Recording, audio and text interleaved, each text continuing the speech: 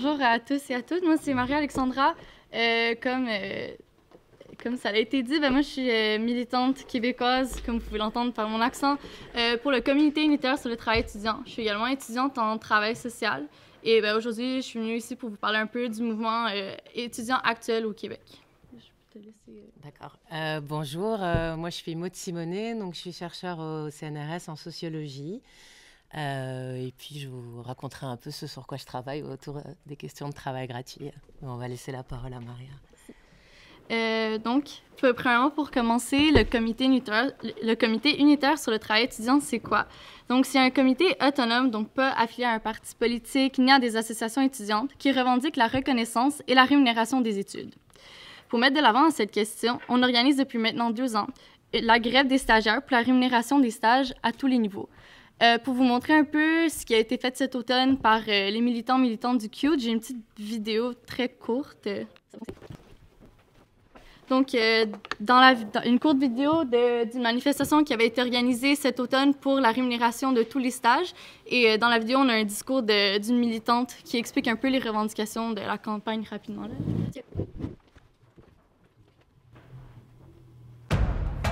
Le gouvernement nous dit de ne pas défoncer des portes qui sont déjà ouvertes, alors que cela fait plus de deux ans que nous nous mobilisons pour la rémunération de tous les stages. Cela fait plus d'un an que le ministère et les établissements postsecondaires sont au courant de notre lutte et tentent de donner un portrait de la situation des stages. Toujours rien n'est sorti et le ministre nous demande d'attendre six mois. Ces six mois servira à quoi? Probablement à catégoriser les stages afin d'expliquer pourquoi certains stages sont rémunérés et d'autres non. La raison est simple. Les stages traditionnellement féminins ne sont pas rémunérés, alors que les stages traditionnellement masculins le sont. Les stagiaires ont des protections, ont le statut de travailleur, ont la reconnaissance de leur travail. Nous demandons la même chose. Un salaire pour notre travail, un salaire pour nos stages. Nous n'attendrons pas six mois. La grève des stages est la meilleure façon d'obtenir la rémunération des stages. Comment l'internat en psychologie a été compensé? Comment le stage final en enseignement a été compensé? Grâce à la grève des stages? Nous ne voulons pas d'une compensation. Nous souhaitons être protégés par les lois et normes du travail. Nous souhaitons avoir la valorisation de notre profession. Bref, nous souhaitons avoir une reconnaissance du travail que nous effectuons. Suffit d'exploitation des femmes. Grève des stages, grève des femmes. À demain, à vendredi, qu'on revoit en janvier pour la GGI.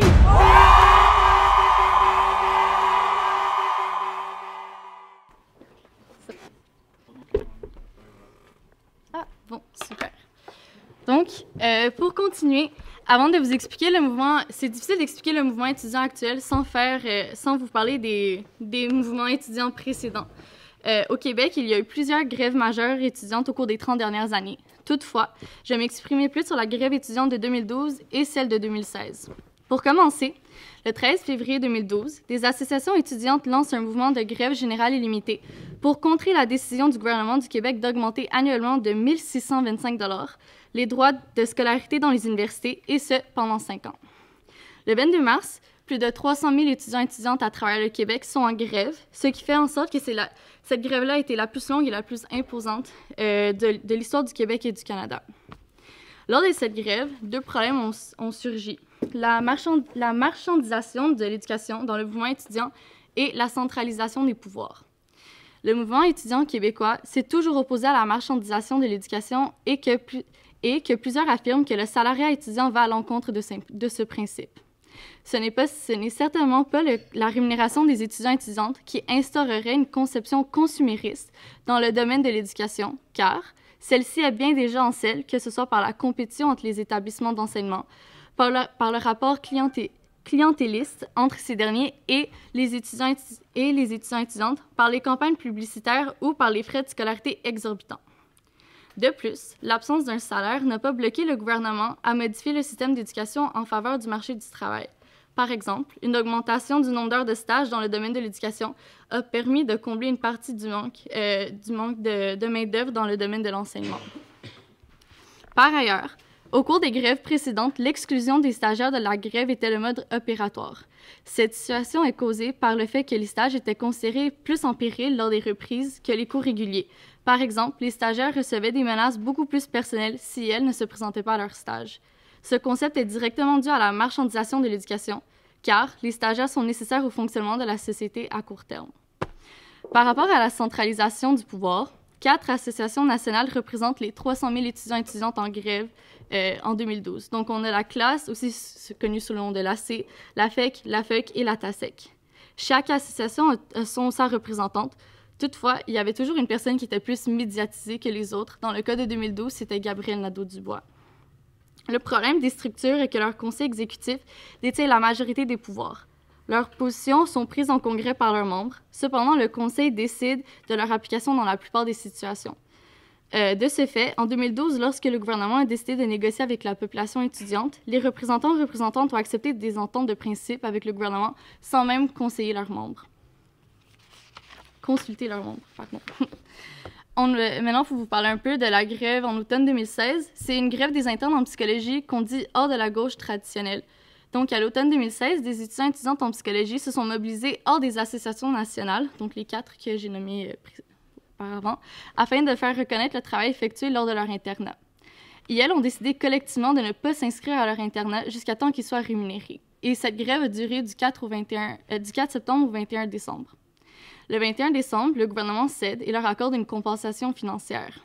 Par contre, les contreparties à l'entente auront de quoi décevoir certains et certaines étudiants et étudiantes.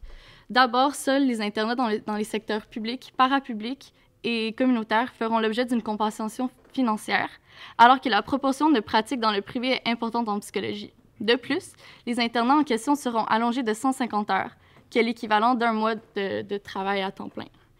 Euh, et si les, à moins de s'engager à travailler ensuite dans le secteur public pendant deux ans. Lors de cette grève euh, des, internats en psychologie, euh, les étudiants et étudiantes ont commencé à se poser les questions, mais pourquoi rémunérer seulement les internes en psycho alors que dans plusieurs autres domaines, il y a des stages non rémunérés? Pourquoi corporatiser les luttes et les gains en se faisant hiérarchiser les professions alors que l'enjeu semblait bien être ailleurs? En effet, les, étudiants, les étudiantes en travail social, en éducation à l'enfance, en éducation spécialisée, euh, en sexologie, psychologie, soins infirmiers, pratiques sage-femme, entre autres, accomplissent tous des stages obligatoires non rémunérés. Ce sont tous des domaines historiquement et majoritairement occupés par des femmes. Euh, pour nous, il ne s'agissait pas d'un hasard surtout quand on sait que les stages liés à l'ingénierie, l'informatique, l'électronique, l'administration des affaires, par exemple, domaines historiquement et majoritairement masculins, sont très souvent payés et à juste titre. On nous disait que c'était parce que nous étions en formation, mais euh, cette réplique n'était pas valide puisque le futur ingénieur est autant en formation que la future travailleuse sociale. Euh, mais lui, il va bénéficier d'une rémunération et non la, future travailleuse sociale. On nous, disait, on nous disait aussi parce que les stages qui sont rémunérés sont dans le secteur privé. Mais en faisant des recherches, nous avons réalisé que l'État encourageait et soutenait l'emploi des stagiaires dans les, entreprises privées, en accordant des crédits d'impôt qui payaient une, une large partie du salaire des stagiaires. Pour expliquer ce, deux poids, deux mesures, dont la distinction entre les stagiaires des emplois dits masculins et productifs, qui est reconnu et rémunéré, alors que celui des stagiaires des emplois dits féminins et reproductifs, donc euh, liés à soins et à l'éducation, est naturalisé et gratuit. On attend jusqu'au dernier moment, là où il n'est plus possible de nier le travail des femmes, c'est-à-dire sur le marché du travail à proprement parler pour les pays. Et même encore. Tout d'abord, il est important de mentionner que la revendication directe de la campagne actuelle est la rémunération des stages, qui est un préambule à une campagne plus large sur les luttes féministes et le travail étudiant gratuit. Actuellement, au Québec, il y a entre 55 et 60 000 stagiaires non rémunérés, euh, selon des chiffres publiés en 2013 par Québec solidaire, un parti politique qui a fait des recherches euh, en se basant sur des données canadiennes euh, sur l'éducation. Depuis deux ans et demi, la campagne sur la rémunération des stages est, est menée par les coalitions régionales et les comités unitaires sur le travail étudiant, donc les CUT. Les militants, les militants militantes revendiquent la rémunération de tous les stages à tous les domaines dans tous les programmes d'études. Donc, on va penser au diplôme d'études professionnelles, au diplôme d'études collégiales et au diplôme d'études universitaires, etc. Le problème actuel, comme je l'ai dit, c'est que les stages euh, dans les domaines historiquement masculins sont payés et sont payés et subventionnés par des crédits d'impôt du gouvernement, tandis que les, stagiaires dans les domaines historiquement majoritairement féminins sont, sont des stagiaires qui font des centaines d'heures de stage non rémunérés. Et non seulement ces stagiaires ne sont pas rémunérés, mais elles ne bénéficient d'aucune protection légale euh, dans leur milieu de stage.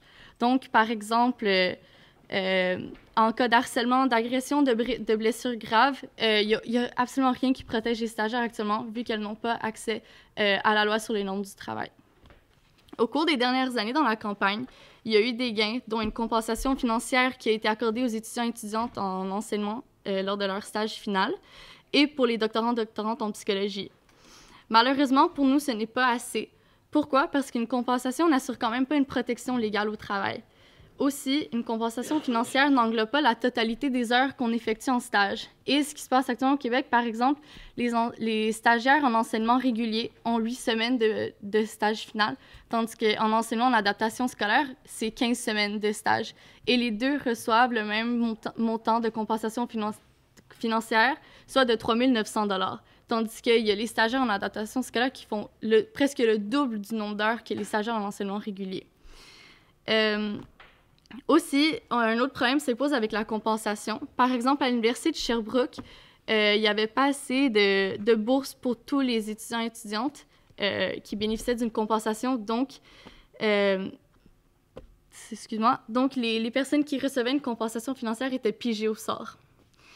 Euh, de plus, une compensation financière est aussi comptée dans les, bourses données par le gouvernement. Donc, au Québec, on a un programme qui s'appelle l'aide financière aux études et les étudiants et étudiantes qui bénéficient de cette aide financière-là ont un maximum de bourses qui, qui elles peuvent recevoir. Et dès qu'on a atteint ce maximum de bourses-là, on n'est plus éligible à la compensation financière euh, lors de nos stages.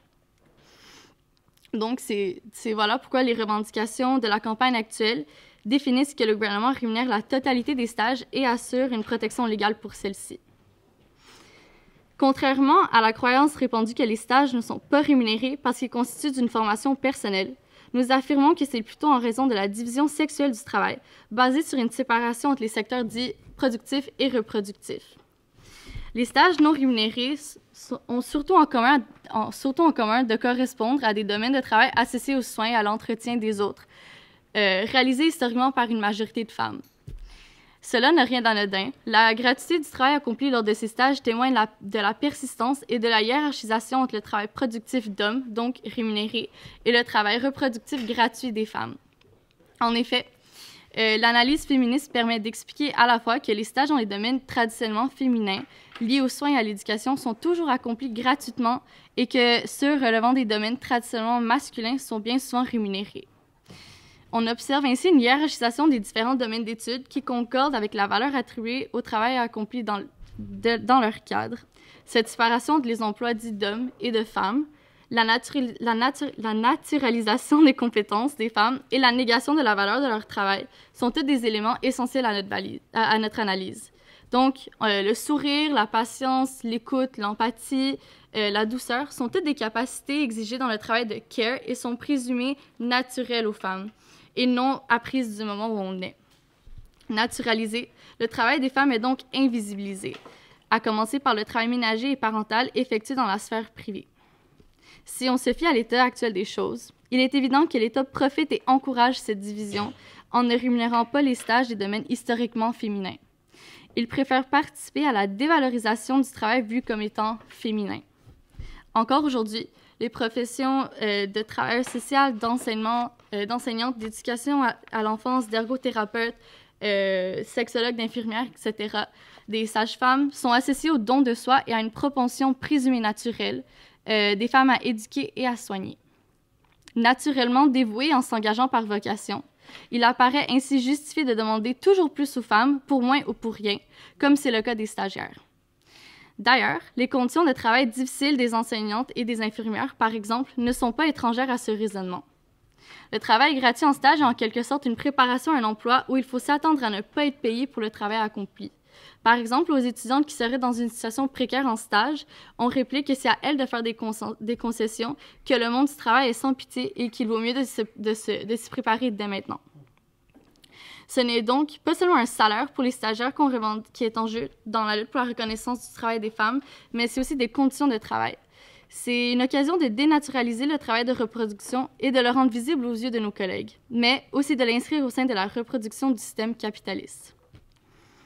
Sans nier la pertinence de la lutte pour la gratuité scolaire, le CUTE va plus loin en proposant de repolitiser la question du travail dans le cadre des études.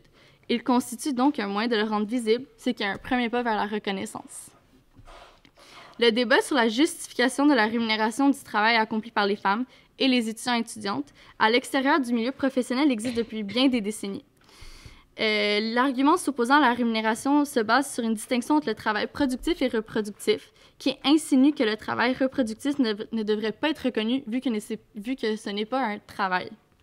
Le travail reproductif dans le système capitaliste comprend toutes les tâches nécessaires à la reproduction des travailleurs et travailleuses, euh, à commencer par les faire naître, les nourrir, les soigner, les éduquer, bref, tout ce qui, leur donne une valeur sur le marché du travail.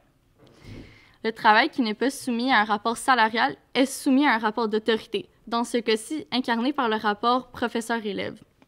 L'école fait partie de ces institutions ou appareils qui donnent de la valeur aux individus en tant que travailleurs et travailleuses, en leur donnant des compétences et de la reconnaissance institutionnelle de celles-ci.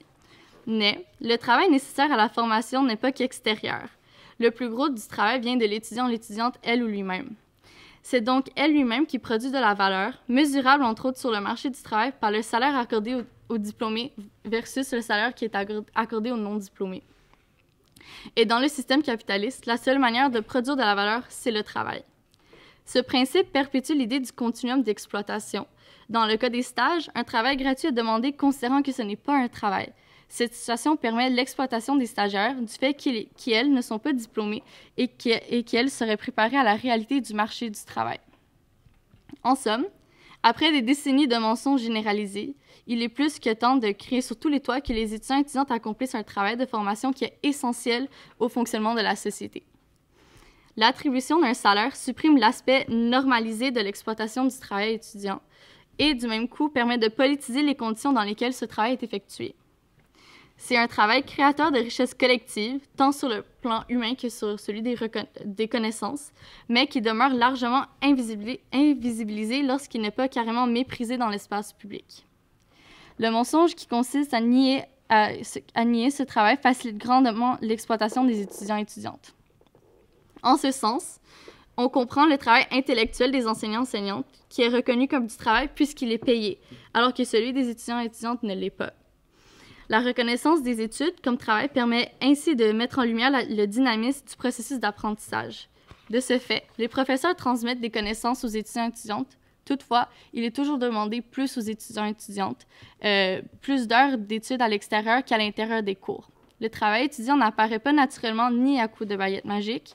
Il est le résultat d'une activité qui peut se voir appropriée par d'autres personnes comme les enseignants, enseignantes, les administrations et les milieux de travail. Pour conclure, cette analyse du travail gratuit est en lien avec le travail étudiant. Toutefois, il est possible de pousser cette analyse euh, au travail ménager qui est également invisibilisé. De plus, la revendication d'un salaire étudiant s'inscrit dans la lutte de l'amélioration des conditions d'études des étudiants étudiantes et l'abolition du travail gratuit. Est-ce qu'on me suit jusqu'à date? Super. Donc, pour vous parler un peu de l'organisation de la campagne actuelle, il est important de mentionner que les, les, les aussi une méthode d'organisation hors de la gauche traditionnelle, donc hors des associations nationales, des mouvements étudiants précédents.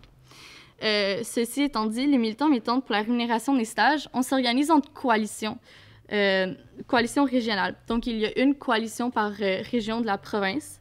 Les coalitions peuvent compter parmi les membres du CUTE, euh, en plus des associations étudiantes que, qui importent leur, affiliation, des syndicats, des groupes politiques, communautaires, ou ainsi n'importe quelle personne à titre individuel qui appuie activement la, campagne sur la rémunération des stages. Nous nous rencontrons une fois par mois afin d'organiser la mobilisation pour la campagne actuelle et de discuter des diverses moyens de pression que nous pouvons mettre en place. Donc, c'est aux coalitions qu'on organise justement, euh, qu'on a mis en place le, plan d'action pour la, grève générale limitée qui s'en vient. Euh, je vais vous expliquer un peu euh, les, divers moyens de pression qui ont été mis en place depuis le début de la campagne. Donc, le premier événement de visibilité en lien avec la rémunération des stages a eu le 4 septembre 2016, alors que les étudiants étudiantes, les doctorants doctorantes en psychologie étaient déjà en grève. Euh, C'était une action bannière qui a été réalisée en marge du quatrième Forum des idées du Parti libéral du Québec, qui était le parti politique au pouvoir dans ce temps-là. Par la suite, il y a eu plusieurs activités de perturbation et de visibilité qui ont, qui ont lieu lors d'une conférence de la ministre de l'Enseignement supérieur. Le 16 février 2017, une première manifestation à Québec en marge du rendez-vous national sur la main-d'œuvre lieu. Cette même journée-là, plus de 30 000 personnes, et je dis personnes parce qu'il y a des étudiants et étudiantes, mais même des, des, groupes communautaires qui étaient en grève aussi. Donc, euh, il y a eu plus de 30 000 personnes qui, qui ont été en grève à travers euh, plusieurs régions du Québec. Le 10 novembre 2017, 20, personnes sont en grève, 20 000 personnes sont en grève pour la Journée internationale des stagiaires. Le 20 février 2018, 15 000 personnes sont en grève pour la Journée mondiale des stagiaires. Le 8 mars, 2018, 30 000 personnes sont en grève pour la, Journée internationale des femmes. Le 20-22 mars 2018, 10 000 personnes sont en grève pour, que le Conseil d'administration de l'Université du Québec à Montréal prenne position sur la rémunération des stages. Et entre les différentes manifestations et journées de grève, euh, les coalitions ont également envoyé des... On, a publié des lettres ouvertes, on a envoyé des pétitions au gouvernement, euh, des communiqués. Euh, met à tous les partis politiques aussi, puis euh, le tout a été sans réponse la majorité du temps. Au début de la, au début, de la rentrée de la session de l'automne 2018, euh, plusieurs associations étudiantes collégiales et universitaires ont voté pour un plan d'action afin de lancer un ultimatum au gouvernement. Celui-ci comprenait une semaine de grève entre le 19 et le 23 novembre, donc euh, où il y a eu la manifestation que, sur la vidéo que vous avez vue, et le tenu d'une assemblée générale de grève générale illimitée à la session d'hiver 2019, si le gouvernement ne rémunérait pas tous les stages. Au cours de la semaine de grève, plus de 50 000 personnes étaient euh, en grève il y a eu un pic le mercredi avec 60 000 étudiants et étudiantes à travers le Québec en grève. Plusieurs manifestations dans différentes régions du Québec ont eu lieu. Puis il est important de mentionner que dès la première journée de grève, donc dès le 19, euh, le 19 novembre, le ministre de l'Éducation nous a demandé de rentrer en classe et de ne pas défoncer des portes ouvertes, euh, faisant allusion qu'il que, était déjà conscient de l'enjeu. De ce fait, il a accepté de nous rencontrer après, euh, après la semaine de grève. Cette rencontre, d'ailleurs, j'y étais, n'était pas si formateur qu'on l'aurait espéré. en fait, lors de la rencontre, les représentants représentants du ministre ignoraient...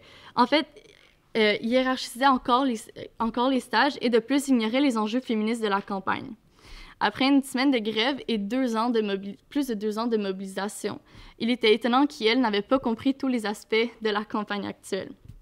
De ce fait, il était clair qu'énormément de travail était à réaliser pour obtenir un gain de cause. Toutefois, l'ultimatum envoyé arrive à échéance et le gouvernement ne donne aucun signe de vie. Pour vous parler un peu de l'ultimatum qui a été envoyé, euh, on est rendu à la session hiver 2019. Donc, les associations étudiantes ont commencé à voter euh, le plan d'action pour la grève générale illimitée. Euh, dimanche dernier, on a la première association étudiante qui a adopté le mandat de, de GGI, dont l'association étudiante des sages-femmes du Québec. Et aujourd'hui même, il y a une autre association étudiante en ce moment qui vote pour un autre, pour un mandat de, de grève générale illimitée aussi.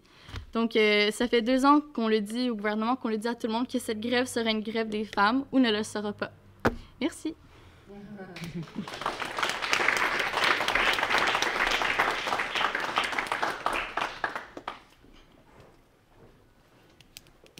Ah oui, les questions. Dans le reste Canada, il y a quelque chose euh, d'analogue.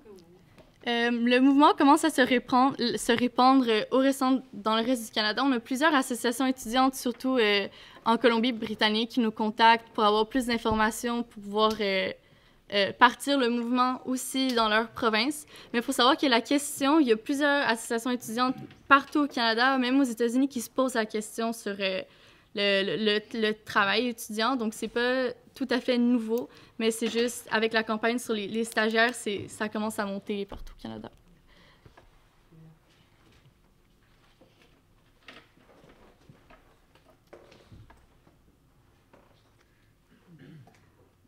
Bon, mais ça me rassure, ça veut dire que vous avez compris. Oui? Euh, J'ai une question. Euh, en fait, la, la grève Ben, en fait, j'ai peut-être parlé un peu trop vite. Donc, euh, c'est euh, un plan d'action qui c'est dans une escalade de moins de pression.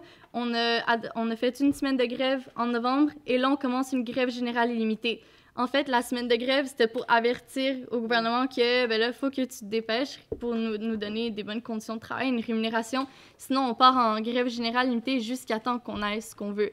Et euh, les mandats de GGI ont déjà commencé. Ça a commencé ce dimanche, ben, dimanche dernier. Le premier mandat a été voté euh, par l'Association étudiante des sages-femmes. Donc, euh, à la session d'hiver qui s'en vient en ce moment, euh, nous serons fort probablement toutes les associations étudiantes à travers le Québec en grève jusqu'à temps qu'on aille, qu'on obtienne gain de cause. C'est bien. Oui? Je Oui, oui, oui. L'a peut-être déjà dit, mais j'ai peut-être zappé. L'absence de rémunération de certains stages, conditionnée à la durée du stage ou c'est juste qu'ils ne sont pas du tout rémunérés Ils sont pas du tout rémunérés. Donc, euh, par exemple, mon programme, je suis en travail social et j'ai 950 heures de stage non rémunérés. Et c'est 950. J'ai aucune rémunération tout le, tout- pendant toutes ces heures-là. Pas rien du tout. Et euh, ça, tu payes ton année scolaire quand même Ouais. euh, je sais pas qui qui avait la main levée en premier. Ok. Oui? Ok. Euh, oui, et sinon, tu avais parlé des crédits euh, pour les entreprises. Ouais. euh, et du coup, c'est euh, pour les, les entreprises qui rémunèrent déjà. Ouais. Fait que l'argent vient déjà du gouvernement parce que le gouvernement subventionne et donne des crédits d'impôt aux entreprises qui payent des stagiaires. Donc, c'est ce qu'on se dit, c'est que pourquoi rémunérer une partie des, une partie des stagiaires et non les autres? Oui. Oui? Oui, moi la question c'était donc, euh, a priori cette structuration elle se fait en dehors des organisations habituelles, mais Ouais. il y a- j'imagine qu'il y a quand même des liens où euh, en tout cas il y a un soutien de leur part euh, par rapport aux assos étudiants, aux syndicats étudiants, ou comment ça se passe Euh, ben, pour parler des associations nationales, en fait, euh, il n'y a eu aucune mobilisation qui a été faite par des assos nationales dans la campagne actuelle dans les deux dernières années. Toutefois, pour les syndicats, on est allé chercher plusieurs appuis de, syndicats professionnels. Euh, euh, quand même beaucoup de, syndicats pour leur qui, accueillent des stagiaires pour leur demander de, de soutenir la campagne et surtout de ne pas prendre des stagiaires lors de la grève. Mais pour les associations nationales, euh, c'est après la semaine de grève que, par exemple, la FEC, donc, euh, que j'ai mentionné au début, a tout, à coup euh, réapparu avec une étude sur les stages quand IL n'avait fait aucune mobilisation pour la campagne. Donc, avec les associations nationales, non, on n'a pas vraiment de... de... Il n'y a pas d'entraide. oui? Oui, moi ce que je me pose aussi comme question par rapport au travail étudiant, en tout cas quand je vois la situation en France, je ne sais pas si c'est la même au Québec, c'est qu'il y a aussi beaucoup d'étudiants qui dans le cadre de leurs études produisent du travail de recherche, par exemple des mémoires. Et en fait ça c'est du travail qui est qui est, qui est aussi euh, qui est aussi gratuit. En fait c'est pas c'est pas un stage euh, c'est pas un travail au sein d'une entreprise ou d'une structure, mais c'est du travail de recherche aussi qui est pas. Je sais que bah, en France, il y a beaucoup de, de doctorants, notamment en sciences sociales, qui font des, beaucoup de, de thèses non rémunérées, mais même euh, dans des cadres de. Enfin, les, les, les masters et tout, en fait, tu fais. Enfin, voilà, Ouais, ben le, le, le- pense qu'il y a aussi ce, ce- cette, fa- cette forme-là de travail étudiant qui n'est pas rémunérée. Ouais, ben c'est quand je le, le travail euh, étudiant, ça l'englobe aussi les, les personnes qui font des, des thèses ou des, des masters. Si ça répond à ta question. Et est-ce que vous êtes rejointe euh, par euh, justement le- les femmes au foyer, enfin le travail domestique dont tu parlais Est-ce que ça a un impact euh, votre discours? Est-ce que vous avez eu des contacts euh? Ben, il y a des organismes communautaires qui, euh, justement, viennent en, en- qui, qui militent pour euh, le- la, la reconnaissance du travail ménager qui nous ont appuyés.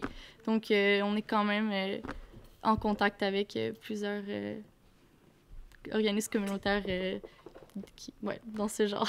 Et vous avez du relais euh, dans la presse au Québec ou...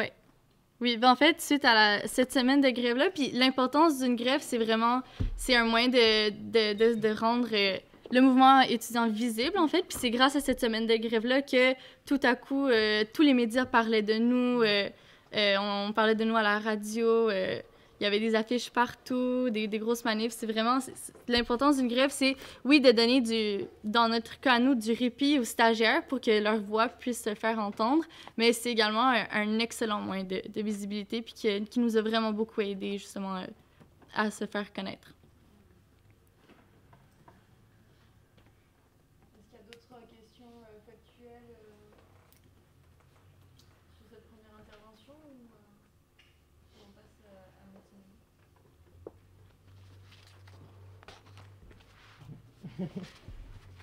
Merci. Euh, ben, merci beaucoup à Réseau Salariat et à Solidaire étudiante HESS de m'avoir invité ici avec, euh, avec Maria. Euh, moi, je porte un très grand intérêt à la fois et en même temps scientifique et politique à la mobilisation lancée par les CUTE. J'ai rencontré, enfin j'avais rencontré un peu avant l'invitation à, à, venir ici, donc une autre euh, militante du mouvement, Annabelle Berthiaume, avec qui j'avais déjà pu échanger euh, sur cette mobilisation. Et donc, j'étais ravie euh, d'être invitée ici avec Maria, à la fois pour en apprendre davantage encore sur cette mobilisation et pour poursuivre les échanges. Et j'espère qu'on va le faire par la suite.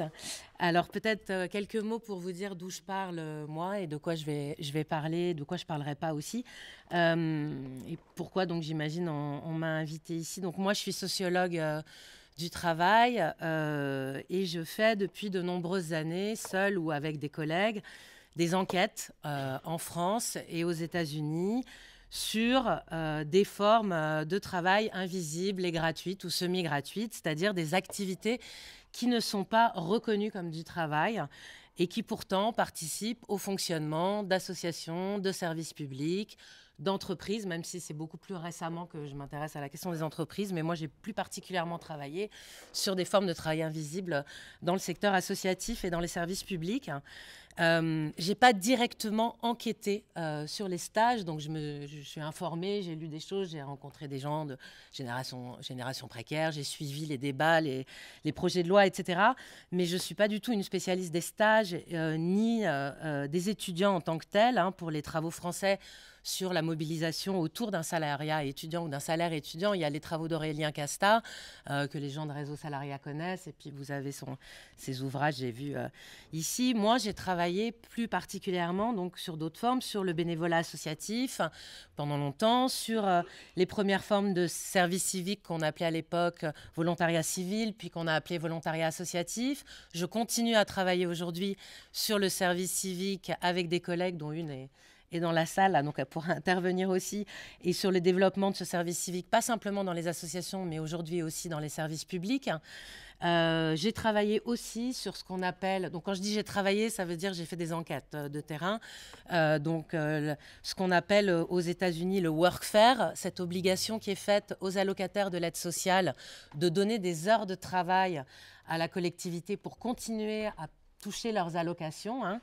Euh, c'est une question de la contrepartie aux allocations qui est assez régulièrement posée en France, hein, qui revient un petit peu comme un boomerang comme ça, euh, assez régulièrement. Hein à propos des allocataires du RSA. Donc, euh, on en avait parlé il y a quelques années sous Laurent Vauquier. C'est revenu euh, il, y a, deux ans, un an et demi, euh, deux ans avec le Haut-Rhin qui avait voulu mettre en place un système. Donc, on pourra revenir dans la discussion sur, sur ces questions-là. Disons rapidement qu'on n'a pas de forme obligatoire, et encore, hein, en France, mais qu'on a largement dans certaines collectivités ou dans certains départements des formes fortement incitatives, des programmes de bénévolat qui sont mis en en place pour les allocataires euh, euh, du RSA. Euh, sur lesquels, là aussi, j'ai fait quelques enquêtes exploratoires. Donc, ces différentes formes de travail gratuit, j'ai étudié comment elles pouvaient apparaître et comment elles pouvaient coexister dans différents services publics. Donc, par exemple, une grande enquête que j'ai faite avec un collègue américain, John Krinsky, c'est sur le nettoyage des parcs de la ville de New York, donc un petit service public de la ville de New York en montrant, donc on a, on a travaillé pendant plusieurs années euh, pour montrer combien, euh, à côté des fonctionnaires municipaux, puis de salariés associatifs qui, ont commencé à, entretenir les parcs de la ville quand des associations ont été en partie créées par la mairie euh, pour continuer à gérer certains parcs qui ont, et ces associations ont embauché leurs propres salariés. Et puis petit à petit, on a vu apparaître aussi des allocataires de l'aide sociale en programme de workfare euh, qui nettoyaient les parcs, donc à côté de ces fonctionnaires municipaux, de ces salariés associatifs. Et puis on a vu apparaître aussi euh, par milliers des bénévoles de différents types de bénévolats, des bénévolats associatifs, des bénévolats d'entreprise. Donc voilà comment tout d'un coup un service public voit se démultiplier les statuts de travailleurs et voit se gratuitiser euh, le travail à l'intérieur euh, de ce service public.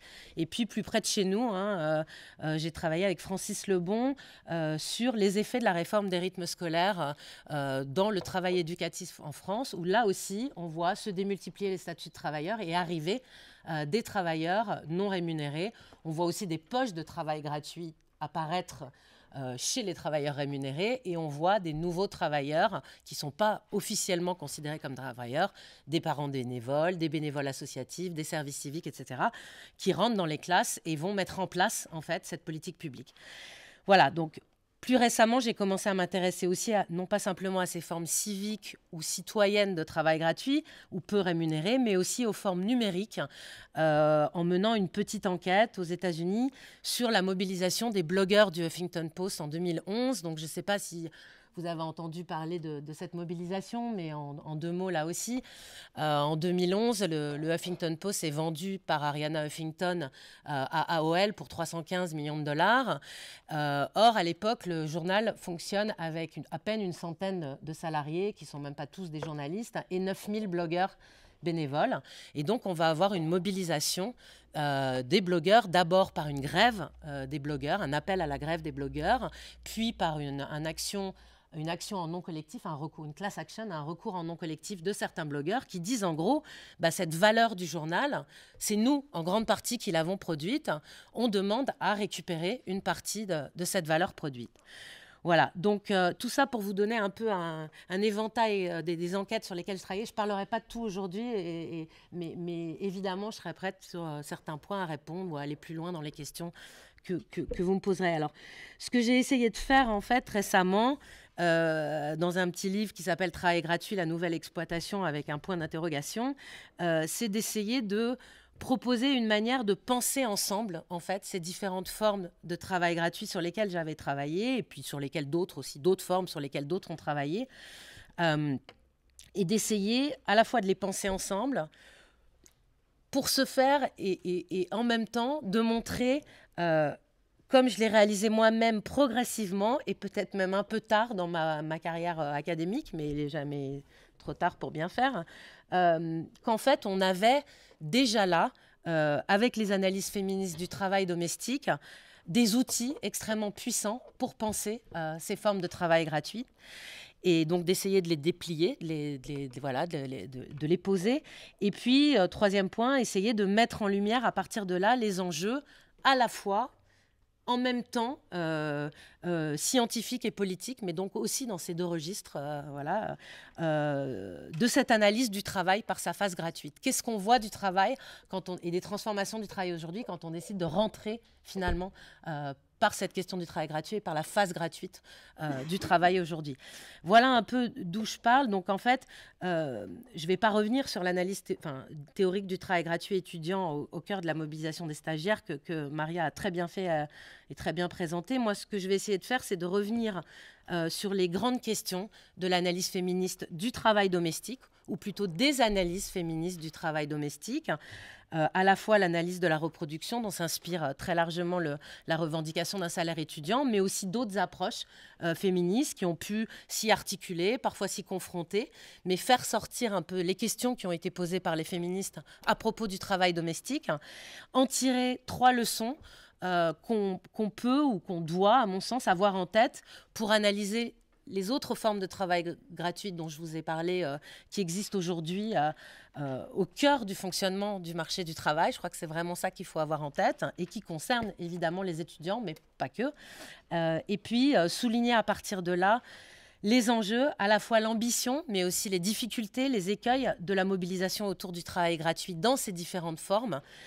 et là, je reviendrai en conclusion sur la mobilisation des cute et je soulignerais à mon, ce qui est à mon sens son originalité et son potentiel en fait euh, au regard des formes de conflictualité autour du travail gratuit et d'autres formes de conflictualité que j'ai pu étudier. C'est un gros programme donc je risque de déborder donc vous m'interrompez si je vais pas au bout c'est pas grave je compléterai après dans, les échanges etc.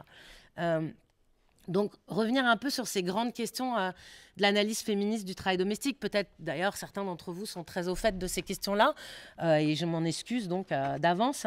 Mais je pense que quand on veut bien se donner la peine, en fait, on devrait se dire, quand on veut bien se donner la joie de, plonger dans les écrits des féministes des années 70-80, euh, on réalise que toutes les questions qui, concernent le travail gratuit et sa valeur, en fait, ont déjà été posées, développées, débattues euh, de manière à la fois puissante, théoriquement, fine et contradictoire. Donc on a un outillage là extrêmement fort, en fait, euh, donc je dis, je m'excuse si certains d'entre vous sont très au fait, mais je pense que ce n'est pas le cas de tout le monde et que du coup, il y a vraiment une nécessité pour moi à se réapproprier ces débats, à se plonger dedans, à, les prendre comme des débats, quitte à choisir après, euh, les, finalement, les, approches dont on est le plus, le, plus proche, mais rien que dans les questions qui ont été posées et la, qualité des débats qui ont eu lieu, on a énormément pour se nourrir. Euh, et donc ces débats, ils ont été posés sur le travail domestique, qui est vraiment la première forme de travail gratuit, si pleinement et si fortement analysée et qui constitue donc, comme je le dis, une matrice, à mon avis, pour penser euh, le travail gratuit aujourd'hui. Il y a trois, il y en a sans doute d'autres, mais pour moi, il y en a trois centrales qui ont été développées, débattues, et encore une fois, parfois sous forme de véritables controverses hein, par les féministes autour du travail domestique. Et donc, je ne vais pas faire un cours sur les controverses euh, autour du travail domestique, mais je voudrais les évoquer un petit peu aujourd'hui. Je ne les déplierai pas complètement, mais évoquer les questions, les débats, mettre en lumière les débats que ça soulève et du coup les leçons qu'on peut en tirer. Euh, la première question qui s'est posée, elle s'est posée avec la volonté politique de rendre visible ce travail domestique. Et donc, pour le rendre visible, ce travail domestique, donc un travail majoritairement fait par les femmes à la maison gratuitement pour autrui au nom de l'amour, la famille, la nature féminine, euh, la maternité, etc. Donc toute cette naturalisation. Et ce travail domestique, pour le montrer, il a fallu le mesurer.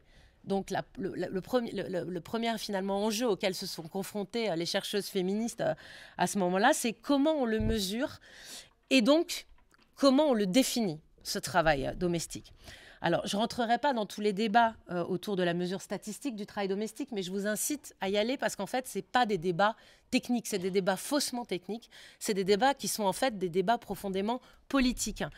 Euh, et dans ces débats, on retrouve aujourd'hui, et moi, je trouve ça assez euh, frappant, mais je ne suis pas la seule à le dire, mais à quel point on retrouve posées dans ces débats, donc dans les années 70-80, toutes les questions qu'on trouve aujourd'hui euh, autour du travail euh, numérique du digital labor, etc., par les chercheurs, mais qui les posent comme si elles venaient d'apparaître scientifiquement, c'est-à-dire où sont les frontières du travail, est-ce que ça c'est vraiment du travail, est-ce qu'on peut appeler ça du travail, mais alors qu'est-ce que c'est le travail, est-ce que tout du coup n'est pas travail? Et je trouve ça assez impressionnant de voir comment on repose ces questions-là aujourd'hui sur cette sphère du numérique sans se nourrir de la manière dont elles ont été posées, débattues et en partie résolues ou pas complètement autour du travail domestique. Donc il y a intérêt à un intérêt à revenir là-dessus. Quel est le périmètre en fait de définition pour le travail domestique? Est-ce que quand bien même on retient l'idée que finalement c'est ce qu'on peut externaliser euh, sur le marché du travail qu'on appellerait euh, travail domestique. Mais du coup, est-ce que se laver soi-même? Est-ce que jouer avec ses enfants? Est-ce que faire l'amour, ça relève du travail domestique? Et finalement, hein, ça, fait écho à ces questions. Est-ce que quand je poste une photo sur Facebook, euh, bah, c'est du travail, du travail digital? Est-ce que quand j'écris un post sur Internet, c'est du travail aussi? Un avis sur un site? Est-ce que quand je tiens un blog sur un journal en ligne, on peut appeler ça vraiment du travail? Donc on retrouve toutes ces questions qui ont été dépliées. Euh, deuxième chose que la mesure du travail domestique a mise en évidence, pour reprendre les termes d'Annie Fouquet, qui est une des statisticiennes en France, qui a œuvré euh, pour mesurer et, rendre visible, euh, à partir des enquêtes de l'INSEE du milieu des années 70, le travail domestique, elle a parlé de l'enjeu de la valeur du travail domestique. Et derrière, elle, elle, nous dit, en revenant 20 ans plus tard, elle va revenir sur les travaux qu'elle a fait dans les années 70-80, et elle dit, pour que le travail domestique devienne une question sociale, il a fallu que son estimation emprunte les termes de l'économie dominante, la monnaie. Et en fait, ce qu'elle nous montre, c'est que tant qu'on a mesuré le travail domestique en termes de temps, parce qu'il y avait des enquêtes, et même des enquêtes qui sont sorties la même année que l'article de, Fouquet euh, euh, et autres euh, sur le travail domestique, mais et qui, et qui mesuraient en temps le travail fait par les femmes, hein, enfin qui mesurait en temps le travail domestique et qui montrait qu'il était essentiellement fait par les femmes. Mais en fait, ça a eu très peu d'effet. À partir du moment où on a converti ça et qu'on l'a mesuré en argent, en monnaie, donc qu'on a montré la valeur monétaire et notamment la part dans le PIB euh, de ce travail domestique, ça a fait l'effet, nous dit Fouquet, d'une révélation. Euh, je fais une petite parenthèse là sur la question des stages. Euh, je crois qu'il y a un article de, de, Ross Perlin dans le dernier numéro des.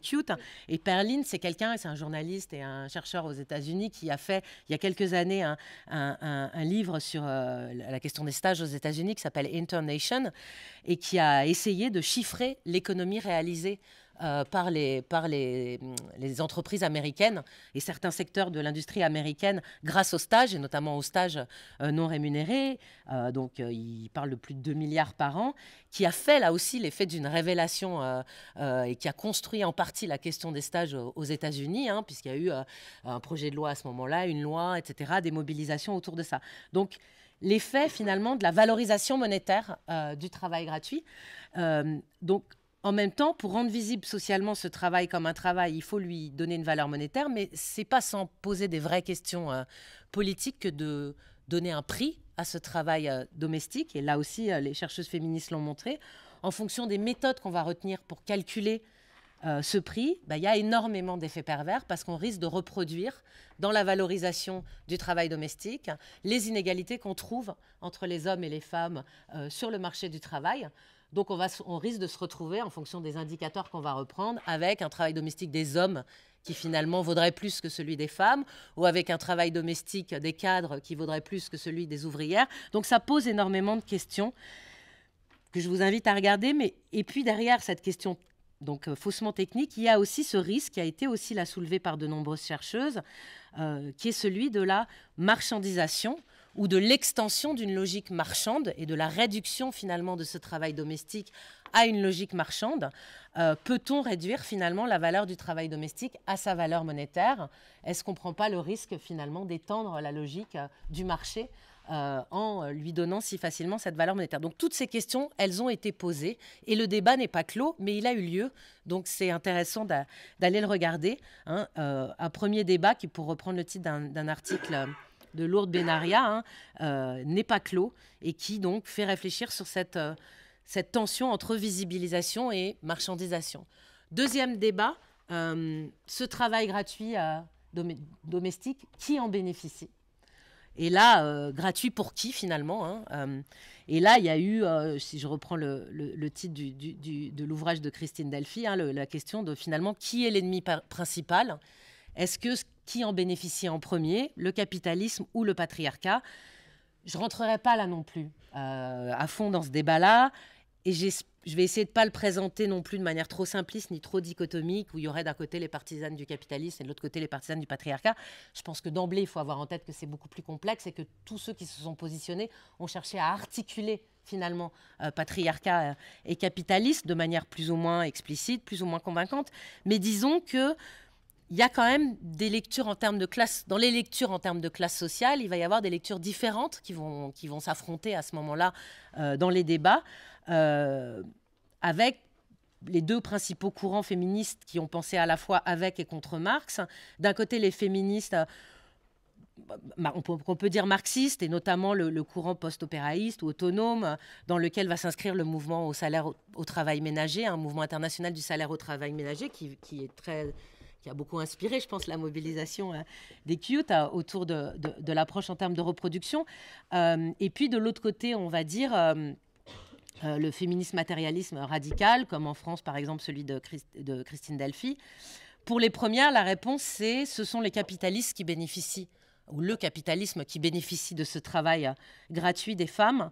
Euh, pour les secondes, schématiquement, les radicales, c'est pas la classe des capitalistes, mais la classe des hommes qui s'approprient euh, le travail domestique des femmes. Alors je vais un peu à la hache, hein, mais je, voilà, je lance quand même ces pistes-là.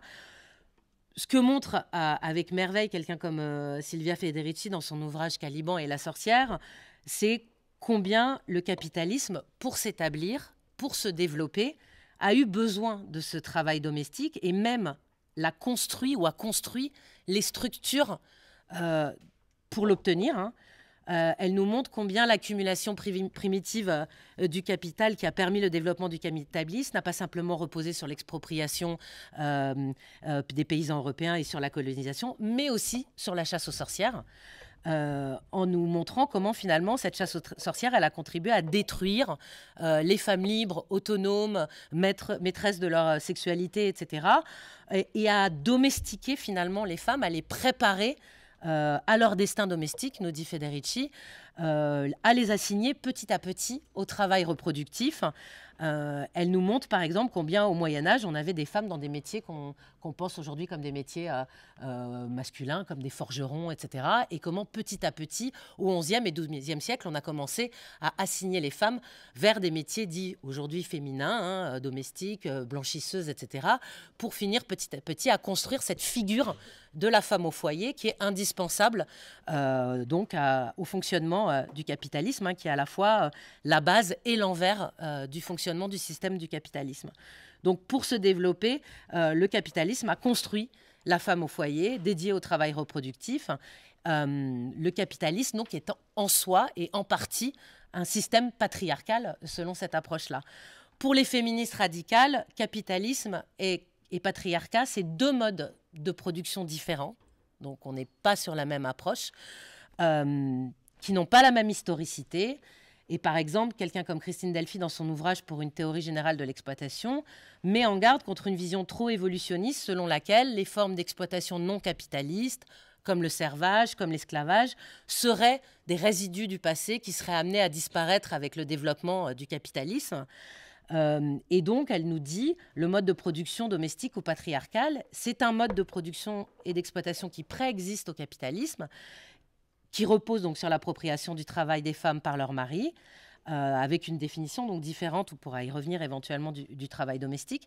Et ce mode de production patriarcal, il s'articule très bien avec le mode de production capitaliste, mais il ne s'y résume pas. Euh, pour, pour, cette approche-là. Et donc, euh, c'est une approche qui nous pousse à nous décentrer un peu de l'exploitation capitaliste hein, et qui donc se différencie un peu de l'approche que je présentais plus haut. Donc voilà le deuxième débat. Troisième débat et, troisième question au cœur des controverses féministes, euh, sur laquelle je pense que c'est important de, s'arrêter un peu aujourd'hui. Ce travail domestique, qu'est-ce qu'il vaut pour celles qui l'exercent C'est-à-dire finalement la valeur pas simplement pour ceux qui se l'approprient, mais aussi pour les travailleuses.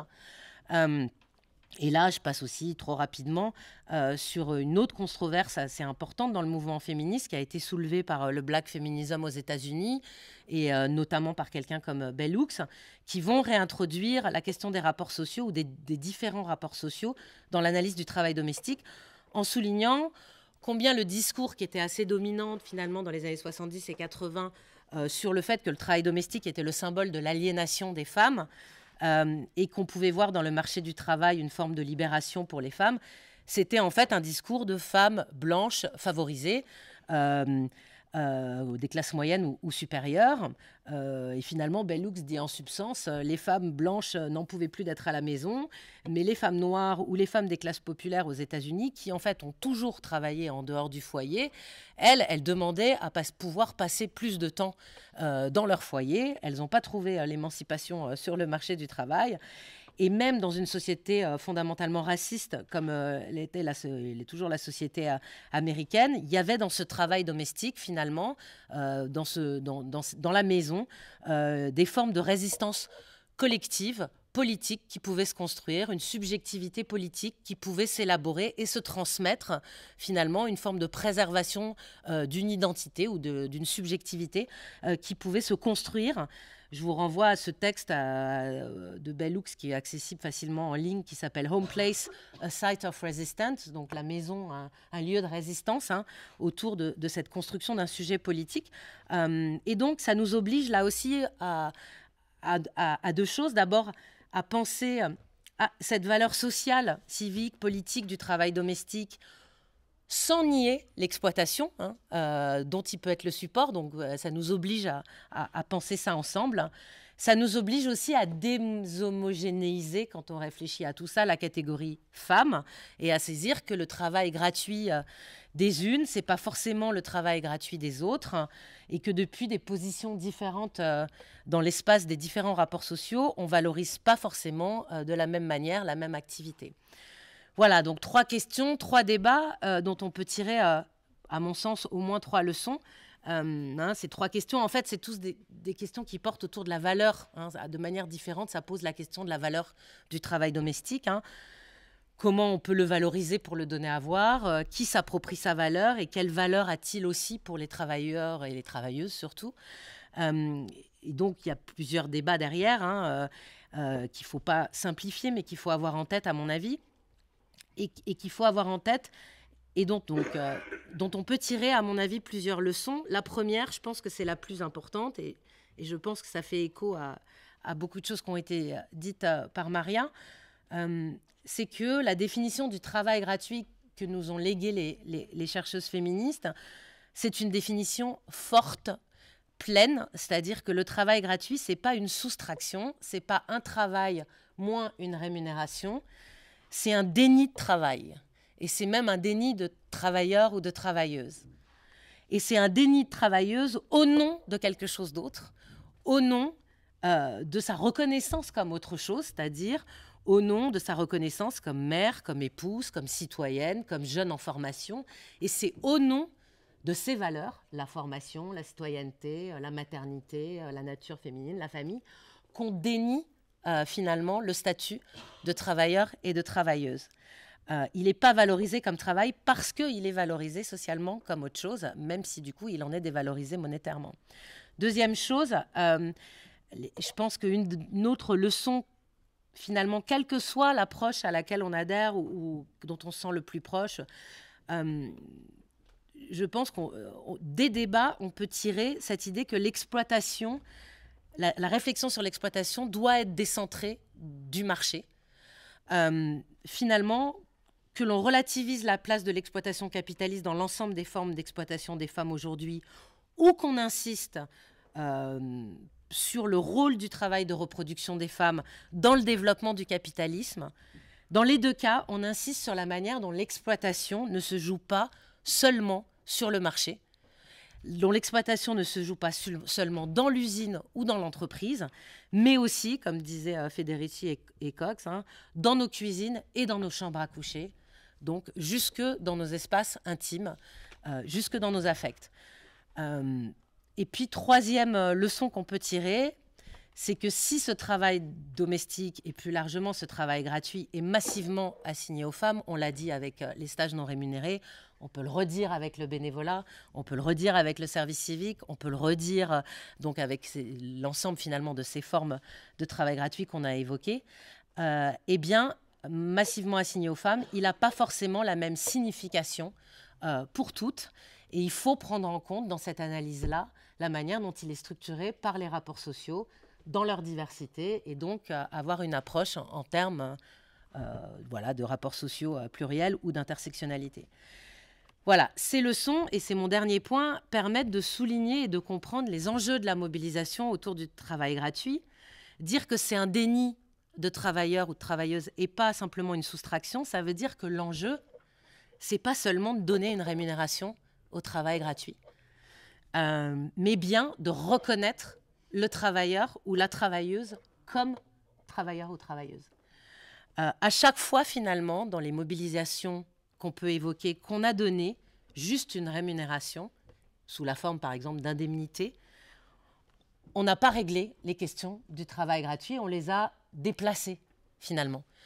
Euh, on a notamment ouvert des zones grises entre le salariat et puis les formes de travail gratuit.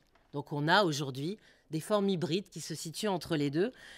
Euh, et du coup, on ne règle pas la question des rapports sociaux et des usages sociaux de ces statuts.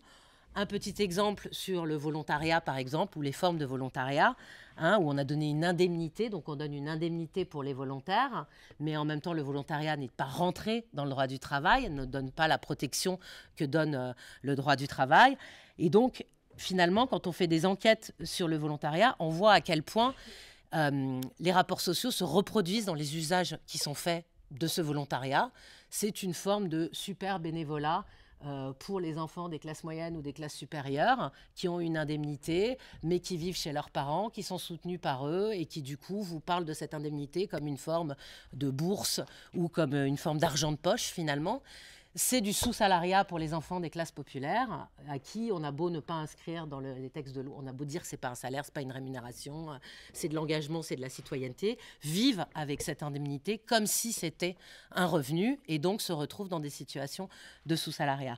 On crée aussi, quand on, quand on est dans ces formes finalement euh, hybrides où on rémunère sans, reconnaître le travailleur, on crée des opportunités pour les employeurs du travail gratuit et on crée des formes de jeu finalement ce que appelé un mistigris des usages, hein, où il y a un statut qui en chasse un autre. Je donne l'exemple avec euh, les stages et les services civiques. Donc on a donné, vous savez, en France, il y a une obligation à partir de deux mois de, de stage pour rémunérer, donc indemniser donc, euh, les stages.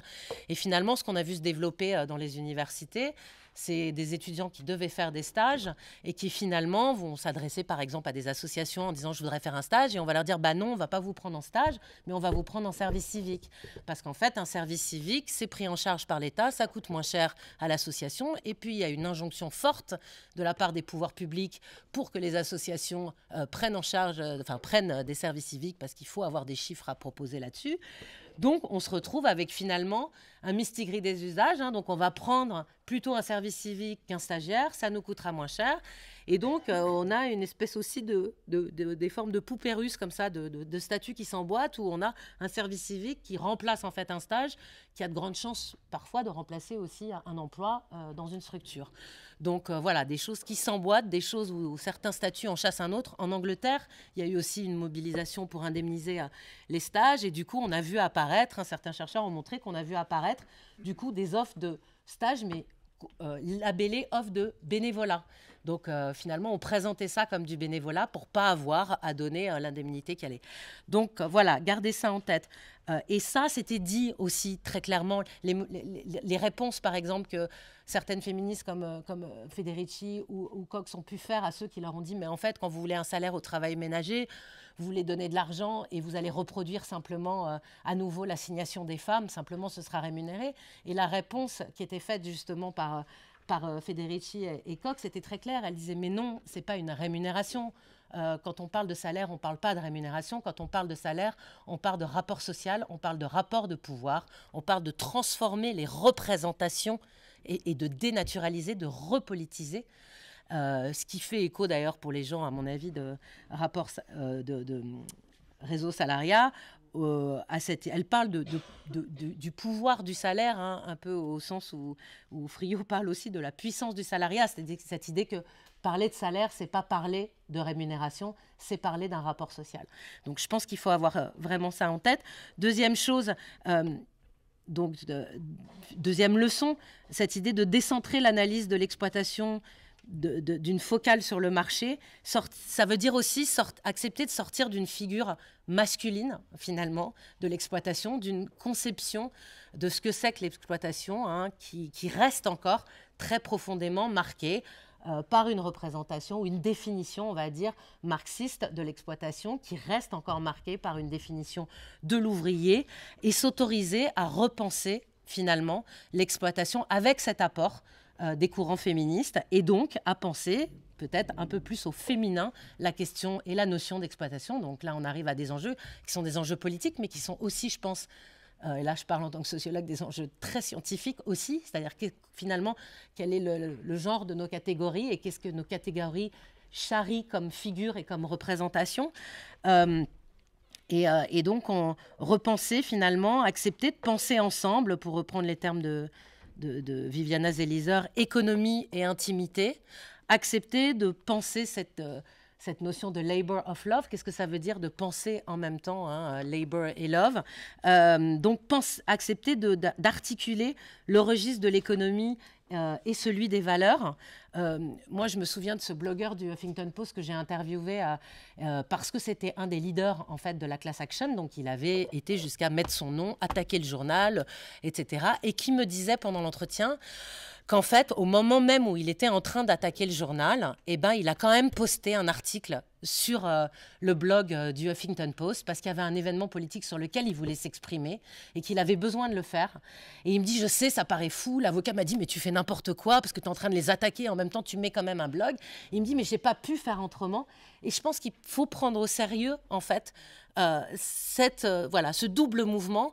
Euh, et, et pouvoir penser ou sortir d'une dichotomie ou d'une opposition trop simple entre exploitation et plaisir, valeur pour soi, valeur pour autrui. Finalement, penser, euh, nous, nous forcer, comme l'ont fait les, féministes, à penser ensemble l'ex- l'exploitation et les valeurs et l'amour et l'engagement. Moi, j'ai beaucoup travaillé sur la question du travail bénévole. Donc euh, voilà, chercher à penser euh, ces questions ensemble. Ça veut dire aussi se décentrer simplement d'une approche qui, s'en tiendrait à, l'exploitation dans le cadre du profit, hein, d'un profit direct en tout cas. Je pense que là aussi, on doit garder en tête que finalement, c'est Delphi qui dit ça, et je pense que c'est euh, quelque chose d'important, qui dit le profit, c'est la mesure de ce que les capitalistes gagnent de l'exploitation, c'est pas la mesure de l'exploitation des travailleurs eux-mêmes. Et je pense qu'on peut s'autoriser aussi à poser cette question de l'exploitation dans des espaces qui sont pas directement des espaces euh, de création de profit. Donc ça veut dire Qu'est-ce que ça veut dire que de penser l'exploitation aussi dans le monde associatif, dans les services publics, etc. Donc voilà, je crois que là, il y a quelque chose qui est ouvert par euh, ces approches-là. Et puis la dernière chose sur les rapports sociaux, euh, ça c'est quelque chose que moi j'ai vraiment beaucoup vu sur mon terrain. Finalement, euh, dans les parcs de la ville de New York, où on a travaillé avec mon collègue John Krinsky, la division, les divisions sociales entre la femme noire pauvre qui nettoie les parcs de la ville en tant qu'allocataire au workfare et la femme blanche qui vit au-dessus de Central Park et qui va descendre nettoyer le parc comme si c'était son propre parc en fait, euh, euh, la séparation entre ces femmes est immense. C'est-à-dire qu'elles peuvent faire au même moment, à quelques mètres, exactement la même tâche. Elles participent toutes les deux à l'entretien des parcs d'un service public et la ville de New York le sait très bien. Mais l'espace social, racial qui sépare ces femmes est hallucinant.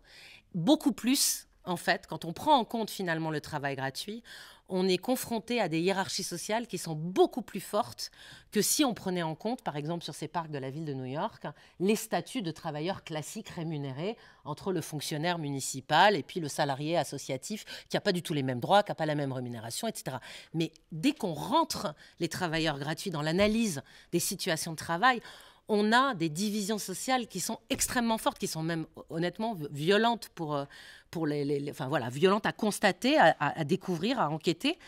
Et du coup, la question, c'est comment on peut réunir euh, dans une, communauté de travail euh, ces, femmes que tout oppose, hein, qui ne se voient même pas sur un espace de travail. Quelles institutions ou quelles organisations sociales peuvent le faire?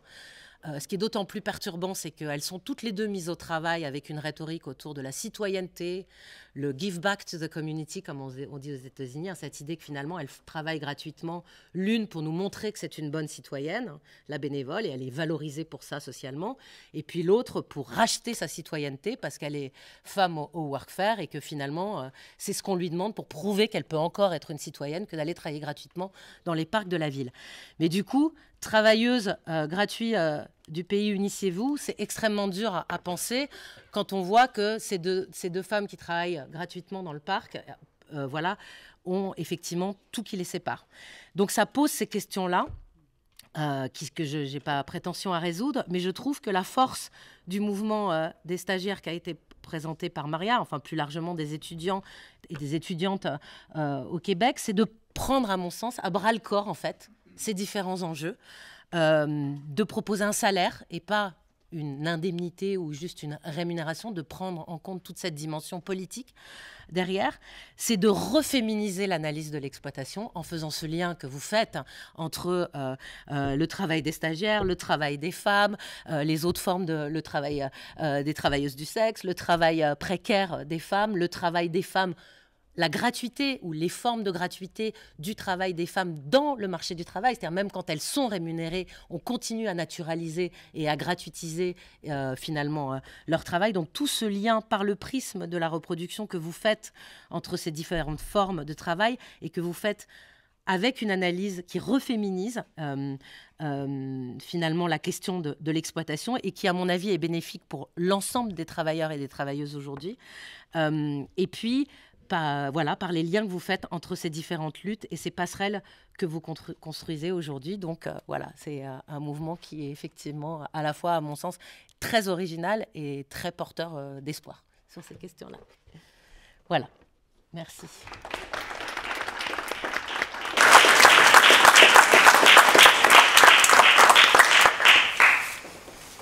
C'était pas trop long.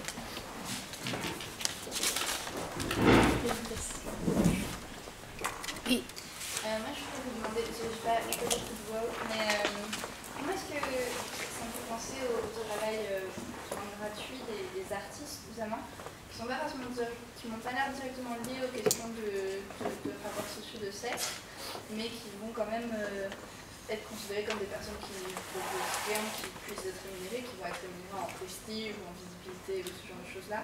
Euh, comment est-ce que vous articulez ça à, votre travail? Est-ce que quelques éléments à une question de féminisme, justement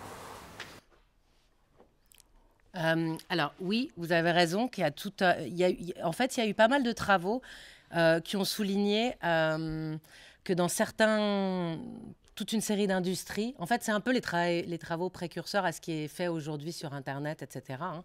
Donc, dans toute une série d'industries dites créatives, donc soit les arts, mais aussi on va le retrouver finalement dans le journalisme, dans les médias, etc. Il y a aujourd'hui cette idée. il y a peut-être deux pistes que, je pourrais, avancer. Il y a cette idée aujourd'hui. Euh, qui, est, extrêmement présente dans ces industries, mais qui, à mon avis, se répand dans d'autres, euh, que le travail gratuit, en fait, c'est une forme d'investissement pour euh, le travail d'avenir. Donc, c'est l'idée, euh, c'est l'idée que, donc, il y a des chercheurs euh, aux États-Unis qui ont parlé de hope labor, donc cette idée d'espoir de, finalement. Donc, l'idée qu'on investirait aujourd'hui gratuitement pour pouvoir demain avoir euh, le travail dont on rêve ou la carrière dont on rêve. Si c'est pas un emploi, c'est la carrière dont on rêve. Et je pense que ça, c'est extrêmement présent aujourd'hui. Euh, alors, ça ne concerne pas que les femmes, mais en, encore une fois, je pense que l'analyse féministe euh, du travail gratuit, elle. Alors, faudrait encore faire des enquêtes là-dessus. C'est-à-dire qu'il faudrait voir si les travailleuses euh, dans ces secteurs artistiques euh, qui travaillent gratuitement ne sont pas plus majoritairement des femmes.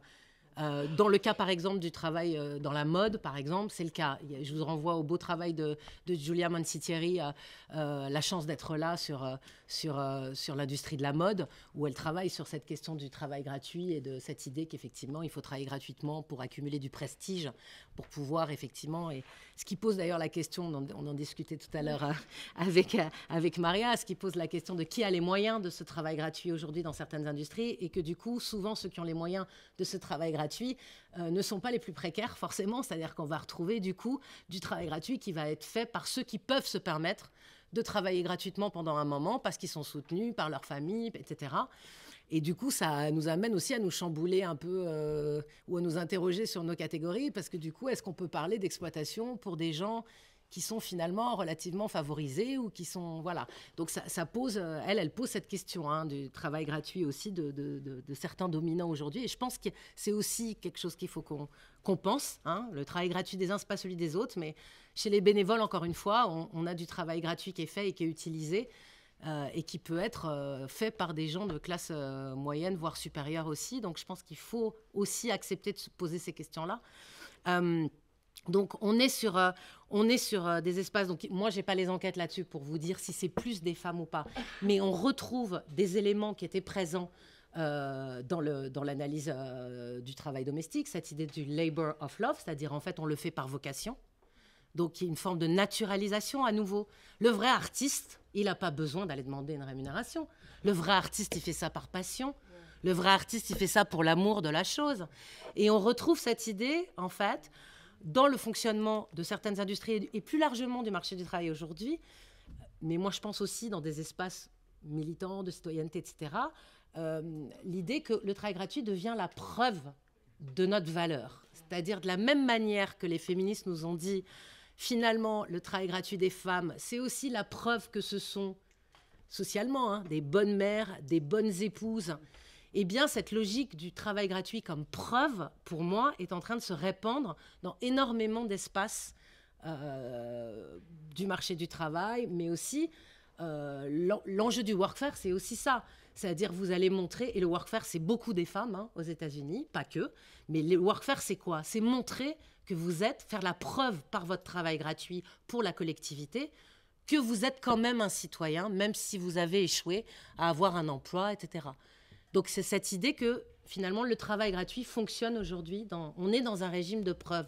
Il y a des travaux aujourd'hui qui sont faits. Il y a un, chercheur qui s'appelle Simone Di Cecco qui travaille aujourd'hui euh, sur, euh, sur euh, les, formes de, bénévolat qui sont demandées aujourd'hui aux, aux, demandeurs d'asile. par exemple, en Italie, où il y a des programmes entiers qui sont mis en place. où on les incite en fait à faire du pareil, nettoyer les rues, nettoyer les parcs, etc en leur promettant plus ou moins que derrière, ça va les aider pour avoir euh, leur papier, mais aussi pour trouver un emploi, donc pour être reconnu comme un bon citoyen. Et il y a encore cette idée d'une logique euh, de preuve finalement. Donc euh, voilà, je pense que quand je, pour moi, il y a un double apport. Il y a effectivement à aller repérer que dans ces espaces de travail gratuit, ce sont encore essentiellement les femmes qui sont mises au travail gratuitement dans tous ces espaces-là. Mais je pense que c'est pas parce qu'on peut être sur des espaces où c'est les hommes qui le sont qu'on n'a pas à bénéficier des apports euh, faits par euh, les chercheuses féministes. Je crois que, enfin, je pense qu'il faut, moi, à un moment donné, je disais, euh, il faut peut-être renverser un peu l'universel. C'est-à-dire, pendant longtemps, la sociologie du travail, quand elle pensait travail, en fait, elle pensait travailleur. Hein. donc on regardait tout à travers le prisme finalement de, des catégories qui étaient construites pour les travailleurs. Ensuite, on a accepté de réaliser qu'il y avait des femmes qui travaillaient et qu'il y avait aussi des travailleuses. Mais moi, je pense qu'on peut aller plus loin et qu'on peut regarder les choses par le prisme de la travailleuse pour regarder les transformations du travail aujourd'hui. Et typiquement sur Internet, il y a un beau livre qui s'appelle euh, The Digital Housewife qui a été écrit par, euh, par Kylie Jarrett, une chercheuse américaine, qui s'énerve un petit peu en disant, euh, en disant qu'elle en a eu ras-le-bol de voir ses collègues qui travaillaient sur le digital labor et qui avaient l'impression de découvrir une forme d'exploitation à la maison où les gens faisaient des choses qui leur plaisaient dans l'espace intime et que le capitalisme s'appuyait sur notre, euh, notre, dimension cognitive, notre, nos émotions, notre affect, etc. Elle dit oui, enfin bon, euh, ça c'est nouveau si tu es un homme blanc diplômé, quoi. Mais cette question-là, elle est loin d'être nouvelle, elle a été travaillée. Donc par contre, c'est intéressant de se dire qu'il y a peut-être des espaces où ça concerne d'abord les hommes, ou plus particulièrement les hommes aujourd'hui. Mais c'est pas parce que ça concerne les hommes qu'on va pas utiliser les outils euh, de l'analyse féministe. Au contraire, c'est intéressant. Il y a certaines chercheuses qui ont parlé d'une féminisation euh, du marché du travail aujourd'hui, où finalement, moi je pense que dans la néolibéralisation du travail, il y a aussi des dimensions, il y a une face féminine euh, du néolibéralisme qu'il faut accepter d'aller travailler il y a des romances, comme disait euh, Nancy Fraser, qui ne sont pas des romances euh, masculines autour de, qui, permettent de néolibéraliser, hein, autour du don de soi, autour de la vocation, autour de l'engagement. Donc voilà, je pense qu'il y a un peu ces deux niveaux de réponse. Moi, je n'ai pas travaillé directement là-dessus, mais je pense que la réponse, c'est un, il faudrait faire des enquêtes pour voir quand même si dans ces espaces-là, ce n'est pas d'abord les femmes qui travaillent gratuitement, hein, premièrement, et deuxièmement, on a toute cette rhétorique du don, de la vocation, toute cette naturalisation de ce que c'est qu'un vrai artiste hein, et, ce régime de la preuve, en fait, qui fonctionnait déjà euh, sur le, finalement, qui s'est en quelque sorte externalisé euh, vers des, industries euh, ou, des espaces autres que, le, que l'espace domestique. Voilà. moi, je veux tout de suite rebondir là-dessus, mais pour peut-être un peu décaler le, point de vue, parce que justement, cette question du fait que, que soit dans le bénévolat, dans les activités artistiques, dans les activités de recherche aussi. La recherche, c'est pareil, c'est d'abord du capital symbolique qui est recherché. On ne va pas être payé plus normalement si on, si on, si on fait une meilleure recherche ou plus, qui est plus reconnue, etc. Donc, euh, mais là, là, là tel qu'on l'envisage, c'est beaucoup vu d'un point de vue négatif, parce que quelque part, il y a l'idée qu'on se fait avoir, parce qu'il y, a, y a une forme d'exploitation cachée là-dedans, ce qui est sans doute vrai, mais c'est intéressant de voir d'un point de vue positif. C'est-à-dire que ce, qui, ce, que ça dit aussi tout ça, c'est que justement, euh, l'idée que l'activité de production, quelle qu'elle soit, qu'elle soit une activité domestique, qu'elle soit une activité artistique, qu'elle soit une activité euh, industrielle, euh, euh, etc., elle n'est pas naturellement motivée dans chez l'être humain uniquement par la perspective d'un profit matériel. Elle est motivée aussi simplement par l'idée d'exister dans la société, de, donner un sens à son existence, euh, d'avoir des profits qui sont des profits de reconnaissance par, euh, par ses pairs ou par euh, la société en son ensemble, par ses proches, par, etc. Et, et ça c'est intéressant parce que finalement l'idée justement que l'activité ne peut être motivée que par la, perspective d'un profit, c'est lié au capitalisme et c'est quelque chose de finalement assez récent dans l'histoire humaine. Euh, et, et, en fait, euh, alors ça ne veut pas dire qu'effectivement, il n'y a, pas un problème dans le capitalisme qui euh, à la fois euh, veut tout soumettre à cette logique du profit et en même temps tire parti euh, des, de, ces gens qui finalement eux-mêmes ne s'y soumettent pas complètement et, acceptent de se faire exploiter comme ça par des formes de bénévolat, des stages gratuits, de travail domestique, etc. notamment les femmes, mais plus largement, finalement, ça concerne l'ensemble des, des, êtres humains à mon sens. Mais à l'inverse, c'est aussi des arguments qu'il faudrait utiliser pour aller, je pense, dans le sens euh, d'une société où on déconnecte de plus en plus aussi les revenus euh, de simplement euh, l'activité mesurée de manière efficiente, mais qui, qui, assure un revenu à chacun. Alors, c'est des choses, moi, je n'ai pas très, vraiment beaucoup exploré les, les, réflexions de Frio là-dessus et de réseau salariat, mais je pense que c'est des choses qui vont un peu dans cette direction-là, c'est-à-dire de, de, de que, chacun ait, un revenu assuré qui soit éventuellement corrélé à des, compétences acquises, etc. Mais en tout cas, euh, que euh, c'est pas, euh, comment dire, à un moment donné, tout le monde doit avoir les moyens d'existence indépendamment de ce qu'il produit. Et il peut trouver dans la production, dans l'activité, etc., d'autres satisfactions. Et c'est pas parce qu'on va le, payer qu'il va, va, être, qui va ne rien, qui va, comment dire, que ça, son revenu va être déconnecté d'une activité mesurée, que euh, c'est pourtant qu'il va, être, va être inactif. Et je, pour, finir, je, dirais justement pour, pour, euh, pour, montrer à quel point euh, cette logique qui est très liée aux économistes néolibéraux de que euh, toute activité ne peut être euh, euh, motivée que par la recherche d'un profit, c'est que, et, qui donc veulent tout, soumettre à cette logique-là, c'est que justement si on interrogeait, si on imagine l'expérience de pensée, interroger Friedman ou Hayek sur sur, euh, en leur demandant euh, oui, toute activité de production ne peut être guidée que par la recherche d'un profit, donc vous-même vous avez élaboré vos théories dans la perspective d'un profit économique, ils seraient obligés de dire non. Ils seraient obligés de dire non parce que ça, remettrait en cause la, valeur scientifique de leur théorie. Parce que justement, une, théorie scientifique, sa valeur est aussi corrélée au fait qu'elle est, qu'elle est désintéressée dans son, fondement, qu'elle n'est pas intéressée par une perspective autre que la, la recherche de la vérité et, de l'intérêt général. Ouais, Ah, il n'y avait pas d'autres avant il y en avait une. Euh, ouais, voilà. Ah euh, moi, j'avais deux, questions. Merci d'abord pour votre intervention et vos outils d'analyse. C'est très intéressant.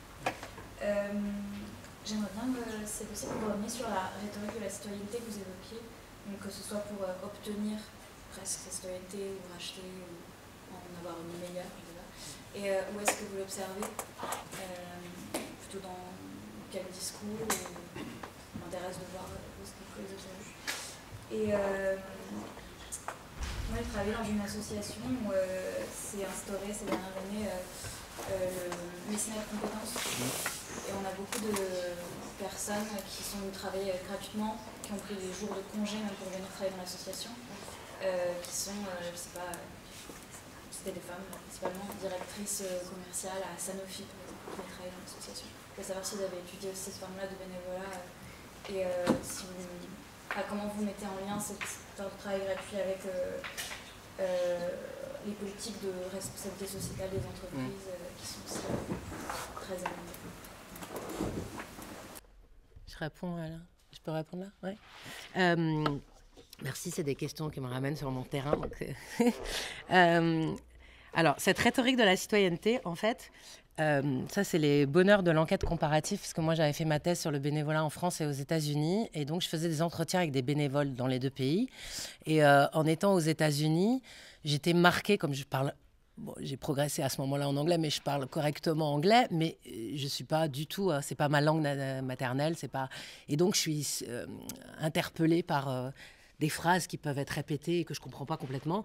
Et du coup, j'ai été interpellée par le fait que dans la plupart de mes entretiens, les gens, les bénévoles me disaient, ah, mais comme une espèce de réponse en dernier ressort ou une évidence, quoi. Euh, I wanted to give back to the community. Donc, et moi, je traduisais, je me disais, je veux rendre à la communauté. Je vois bien les mots, mais je comprends pas ce que ça veut dire en fait. Je comprenais pas exactement ce que. Et puis en regardant euh, euh, des, documentaires, en regardant des trucs à la télé, je vois que cette rhétorique, elle était dans la bouche aussi de Clinton, des communautariens qui étaient à l'époque les, les gens quand donc si je vous parle ça c'est des années 90, hein, mais des gens qui quand ils parlaient, euh, ils faisaient des discours sur la citoyenneté américaine, c'était toujours cette idée de you, and you are giving back to the community, etc. Donc voilà, donc j'ai pisté un peu, en fait, j'ai fait un peu une enquête sur cette phrase en me disant, mais finalement, qu'est-ce que c'est que se rendre à la communauté? Ça veut dire quoi pour un Américain? Euh, et du coup, je suis remontée à ce que j'ai appelé une forme d'éthique civique du travail, euh, parce qu'en fait, ces termes-là, on les retrouve euh, jusque dans le, discours des, pères protestants, ou des, euh, donc cette idée et de la parabole des talents, c'est-à-dire cette idée que finalement, on a le droit de s'enrichir, mais euh, il faut pouvoir, sur le, profit qu'on va faire, il faut pouvoir en rendre à un moment donné à la communauté. La parabole des talents, c'est ça, hein, c'est cette idée que on donne des talents à, différentes personnes, différents talents à différentes personnes, et que Dieu repasse derrière après en disant mais qu'as-tu fait de tes talents? Et finalement, euh, la bonne réponse, c'est de les, de, de les avoir fait fructifier et d'en rendre une partie à Dieu. Et donc, on a le droit de les faire euh, prospérer, mais il faut en rendre une partie. Et donc cette espèce de, discours comme ça, euh, très, euh, qui liait finalement euh, la dimension politique et la dimension du travail, hein, que je trouvais aux États-Unis, très présente, donc aussi bien dans la bouche de mes bénévoles que dans la bouche de la littérature grise sur le bénévolat, que dans la bouche des politiques très fortement pour encenser, pour valoriser finalement le bon, le bon citoyen américain, c'est celui qui a rendu à la communauté. Euh, donc, première étape, ça c'est pendant ma thèse. Je rentre en France et du coup, je reprends mes entretiens avec des bénévoles français en disant j'ai dû rater un truc hein, parce que je suis française et que du coup, euh, les choses que me disent euh, les, les Français, ça me, ça me semble évident. Et donc, je constate qu'effectivement, il y a un équivalent en fait dans les entretiens que j'ai fait avec des bénévoles français, tout un discours autour de, au final, quand on veut justifier de son bénévolat, on dit bah en fait, je voulais me sentir utile. je, voilà, je voulais sentir que j'avais une utilité sociale, je voulais me rendre utile aux autres, etc. Donc euh, je, voilà, je trouve un pendant finalement dans un discours français où là on est donc c'est un discours non pas sur euh, rembourser sa dette, mais c'est l'idée de, donner. hein, donc on a ce et puis c'est pas à la communauté qui est quand même finalement l'espace politique. euh, des Américains, hein, mais à la société qui est l'espace politique plutôt. Donc voilà, j'ai travaillé un peu avec ces deux phrases, ces deux normes en fait. Et j'ai essayé de travailler sur la manière. Et pareil, je me suis rendu compte qu'en France, euh, être utile, utilité sociale, etc., c'était extrêmement utilisé par le monde associatif aussi pour dire, bah, en fait, si vous voulez vous rendre utile, si vous voulez avoir une utilité sociale, soyez bénévole, en fait. C'est- l'espace pour être, euh, se rendre utile. Et puis, je voyais qu'il y avait des campagnes euh, politiques aussi autour de être utile, etc. Donc, finalement, une espèce de rhétorique euh, de la citoyenneté ou de la bonne citoyenneté qui ne s'exprime pas dans les mêmes termes dans les deux pays, mais qui avait un poids fort. Et alors la dernière, l'enquête que j'ai faite avec le, collègue John Krinsky là, sur les parcs de New York, ce qui a été hyper intéressant, c'est qu'en fait, cette rhétorique de la citoyenneté, le give back to the community, je l'ai retrouvée aussi dans les injonctions au workfare. C'est-à-dire que, en gros, c'est plus euh, if you want to give back to the community, c'est you have to give back to the community. Et le workfare, c'est ça. C'est maintenant, il faut rendre à la communauté. Vous n'avez pas trouvé votre place dans la société. Donc, euh, par le workfare, vous allez pouvoir. Finalement, c'est le discours sur euh, payer votre dette ou, la contrepartie. hein. Euh, et donc, je le retrouvais aussi dans les discours politiques. Les discours de Giuliani, par exemple, qui légitime le workfare, etc. Donc, il y a tout un discours autour de euh, l'injonction finalement à être, alors là l'injonction quoi, à être, euh, à être un, vrai citoyen, un bon citoyen. Et en fait c'est des choses, alors j'ai creusé un peu ça parce que cette dimension euh, finalement civique du travail gratuit, elle m'a interpellée parce que c'est à la fois elle touche euh, des groupes sociaux profondément opposés. Donc c'est quand même principalement des femmes, mais comme je vous le disais, y a, on est vraiment sur des populations très différentes. Il y en a qui sont d'un côté valorisés, donc hein, parce que alors les bénévoles on les valorise parce que ce sont de bons citoyens, mais on les reconnaît pas comme des travailleurs. Donc c'est finalement c'est au nom là c'est au nom de leur bonne citoyenneté, de leur engagement, etc. qu'on va ne pas reconnaître que ce qu'ils sont en train de faire, c'est aussi du travail dans les parcs de la ville. Mais on les valorise. Là où les allocataires de l'aide sociale, ils sont profondément dévalorisés, j'ai envie de dire, dans leur double dimension de citoyens et de travailleurs. C'est-à-dire qu'on ne les reconnaît pas pleinement comme des travailleurs, ça c'est sûr, mais on ne les reconnaît pas pleinement non plus comme des citoyens. Voilà, mais c'est la même rhétorique. C'est ça qui est intéressant. Et donc, euh, c'est pas la même mise, pas les mêmes procédures de mise au travail. Mais ce qu'on a montré avec Krinsky, c'est que l'arrivée de ces nouveaux ou ces nouvelles travailleuses dans, dans un service public, c'est vraiment le fruit de politiques publiques. C'est pas, c'est vraiment des, politiques publiques, du workfare d'un côté et du soutien de l'État aux bénévolats, aux fondations, euh, à la création d'associations qui mettent en place des programmes. Il y a énormément d'argent. C'est aussi une chose dont on n'a pas parlé, mais il y a énormément d'argent qui est, dépensé pour mettre en place ce travail gratuit. Donc il y a un circuit économique du travail gratuit qu'il faut avoir en tête. Il y, a, un circuit de valeur, il y a un circuit de financement, il y a un circuit de production de valeur, parce que la ville de New York, bah, elle récupère de l'argent aussi sur, euh, sur le fonctionnement de, de ces parcs par les impôts, par tout ça. Donc voilà, il y a tout un circuit. Bon, voilà, c'est pour ouvrir un peu. Mais voilà, donc euh, où on a pu observer ces discours dans ces différentes euh, dimensions-là.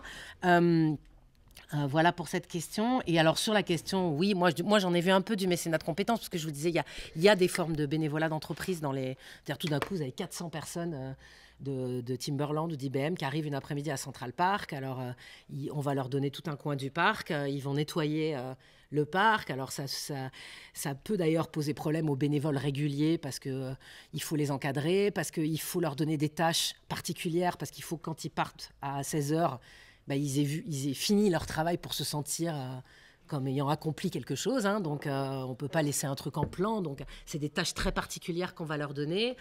Euh, mais du coup, il y a un, partenariat public-privé qui a été financé en partie par la ville de New York et par une fondation qui s'appelle Partnership for Park et qui organise ça dans les parcs de la ville de New York.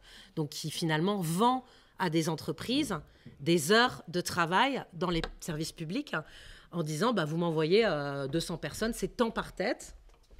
Et donc, contre ça, vous aurez euh, un accueil, un encadrement, des gants, des sacs plastiques. Moi, j'ai plein de photos, j'ai pas emmené de photos ici. Mais... Et donc, c'est des, des, salariés de l'entreprise qui vont venir faire ça. Et pendant 4 heures, ils vont nettoyer tout un coin, repeindre les bancs, euh, repeindre les clôtures de Central Park, et puis ils repartent après. Donc, c'est une forme de bénévolat qui existe, effectivement, et qui est très importante, enfin, qui est très importante aussi à réfléchir, parce que c'est aussi du privé qui nettoie le service public, avec aussi là des financements intéressants. Mais là, moi, donc, je les ai vus, j'ai un peu travaillé on a un peu réfléchi là-dessus, mais la spécialiste de ces questions-là, c'est Anne Bory en France. Anne Bory qui a fait sa thèse sur euh, le bénévolat d'entreprise en France et aux États-Unis et le mécénat de compétences. Euh, qui a travaillé aussi sur la responsabilité sociale des entreprises avec Yves Lochard. Donc là, vous, soit vous trouvez, soit euh, je ne sais pas si je peux laisser mon mail ou faire passer mon mail, vous m'écrivez, je vous envoie, voire vous prenez contact avec elle parce qu'elle elle a fait autre chose après. Elle a travaillé sur d'autres thèmes, mais là, elle est en train de revenir à des travaux là-dessus et elle fait des trucs vraiment super intéressant. Donc là, il faut vraiment voir son travail à elle là-dessus. Euh, du coup, c'est pas moi, pas moi qui prends le tour de parole, c'est c'est qui? Il y avait Morgane? Ouais. Euh, moi, c'est une question pour toutes les deux, mais peut-être c'est plus après, je ne sais pas, comme ça peut être euh, des questions d'abord les deux, mais on est passé peut-être à un. Euh, déjà, merci à toutes les deux pour votre intervention. Merci à la camarade du Québec, parce que c'est une mission que je trouve super enthousiasmante et que je suis depuis quelques mois et qui est enfin, le renouvellement des luttes étudiantes par les perspectives féministes de la reproduction sociale développées dans les années 70. C'est à la fois super novateur et super enrichissant. Euh, je déclare les travaux de Maud plus récemment et là, ta synthèse des, du débat euh, féministe sur le travail domestique est très riche et très brillante. C'est quelque chose qui a très peu été fait en fait, ce type de travail comparatif, de synthèse, et c'est vraiment euh, super. Et du coup, moi, ça m'amène un petit peu, c'est des questions que j'ai déjà pas mal eu à penser parce que j'étais pas mal engagée dans les pour les travailleuses du sexe et donc toute cette question de la marchandisation euh, c'est quelque chose qui est évidemment euh, très présent. On, peut notamment beaucoup reprocher aux luttes qui défendent les droits des travailleuses du sexe euh, d'encourager la marchandisation corps des femmes. Et tout ce travail maintenant sur, voilà, on a beaucoup étudié les rapports d'exploitation quand il y a de l'argent, notamment quand il y a du sexe et de l'argent. Et là, vous étudiez comment les rapports, vous parlez des rapports d'exploitation quand il n'y a pas d'argent, et je trouve que cette perspective est déjà vachement plus intéressante on la confronte avec ce qui a été fait.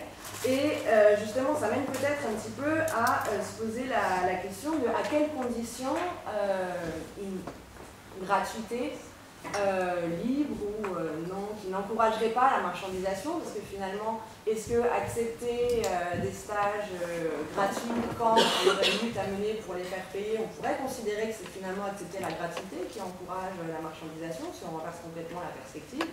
Et comment penser du coup une, véritable gratuité, que ce soit dans le domaine de la formation, comment se former vraiment sans que ce soit un travail dans lequel on est aliéné, comment faire du bénévolat, comment participer à des activités militantes, euh, comment faire toutes ces choses dont on a dit qu'elles sont, euh, y a souvent une ambiguïté, comment les penser de manière euh, justement, comme comment penser les, quelles seraient les conditions de possibilité de ces activités-là de manière vraiment libre dans le cadre de la totalité capitaliste et en plus aujourd'hui néolibérale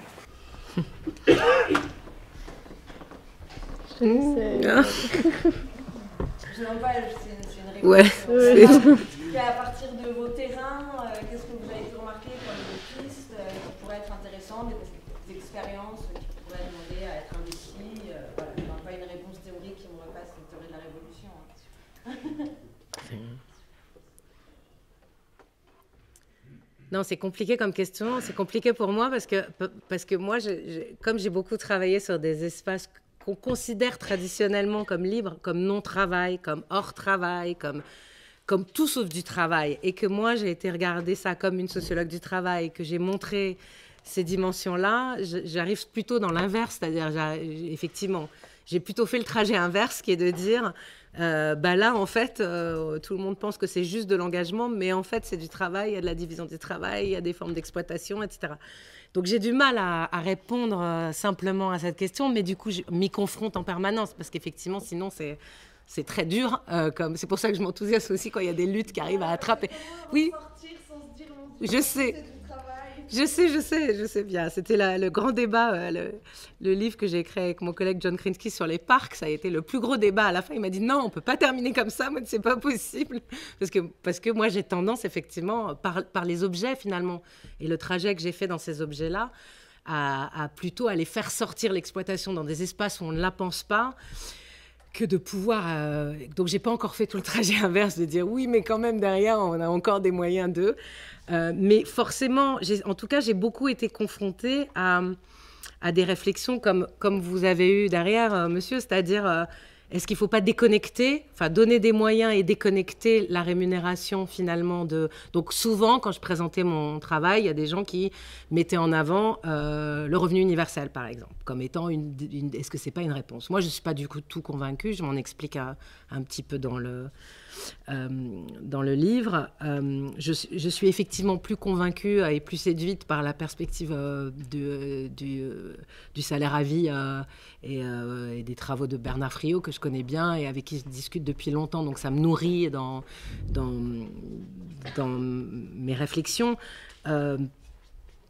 parce que je crois que c'est une réponse qui ne peut pas être une réponse individuelle et une réponse non institutionnelle institutionnel, en fait. Ce qui me pose problème avec, euh, avec le revenu universel, c'est que j'arrive pas à voir en quoi ça va régler les questions de rapports sociaux, en quoi ça va pas réassigner, et peut-être même encore plus, c'est-à-dire avec euh, le contexte néolibéral, encore plus les femmes, c'est-à-dire on va leur dire, bah, en plus maintenant vous touchez je euh, je sais pas combien euh, dès la naissance et plus tard, etc. Donc on attend quand même bien de vous que vous occupiez euh, des enfants dans les écoles, de nettoyer les parcs et de faire... Je vois pas en quoi ça va pas être encore plus un moteur puisqu'il n'y a pas d'éléments politiques en fait, il y a, a l'idée simplement qu'on laisse à chacun, mais on sait bien que quand on laisse à chacun, bah, c'est les rapports sociaux qui prennent le dessus. Donc voilà, je ne suis pas du tout convaincue par cette perspective. Pour ça, ou alors il faudrait me démontrer, mais je n'ai pas encore lu de choses qui me le démontrent, comment ça peut permettre de changer les choses.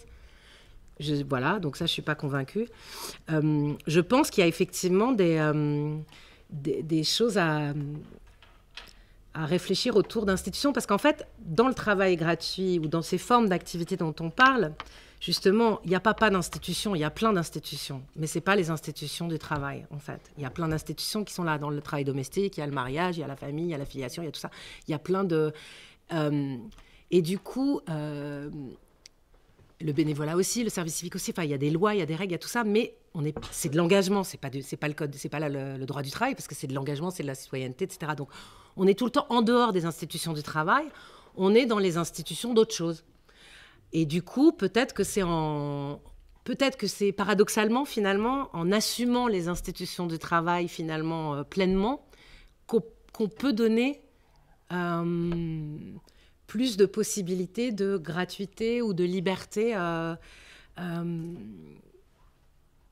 et, moins de, rapports sociaux. Parce qu'en en fait, là, même dans, dans mes travaux, ce que j'ai vu, c'est souvent des choses qui se rapprochent du travail. C'est-à-dire, on passe du bénévolat au service civique. Donc, on reconnaît quand même qu'il y a un encadrement, il y a des lois, il y a un peu de sécurité sociale, il y a un petit peu de droit quand même, il y a machin, mais c'est pas le travail. Donc c'est pas plein.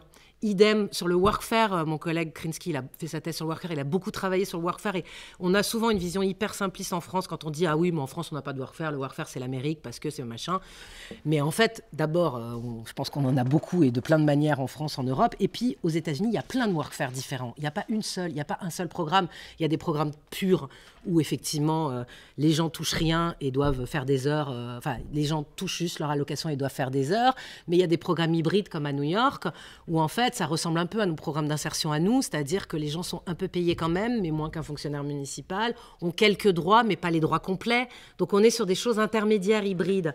Et en fait c'est des, des travailleurs qui sont pas achevés et on retrouve, par exemple, sur le workfare, dans ces programmes transitionnels, exactement les mêmes rapports sociaux que dans le workfare pur, c'est-à-dire une dépendance extrêmement forte des femmes aux petits chefs qui sont au-dessus d'elles, qui vont faire euh, le choix de leur donner ou pas un petit plus pour euh, de leur donner le bon horaire pour prendre leur jour de congé, s'occuper de leurs enfants ou pas.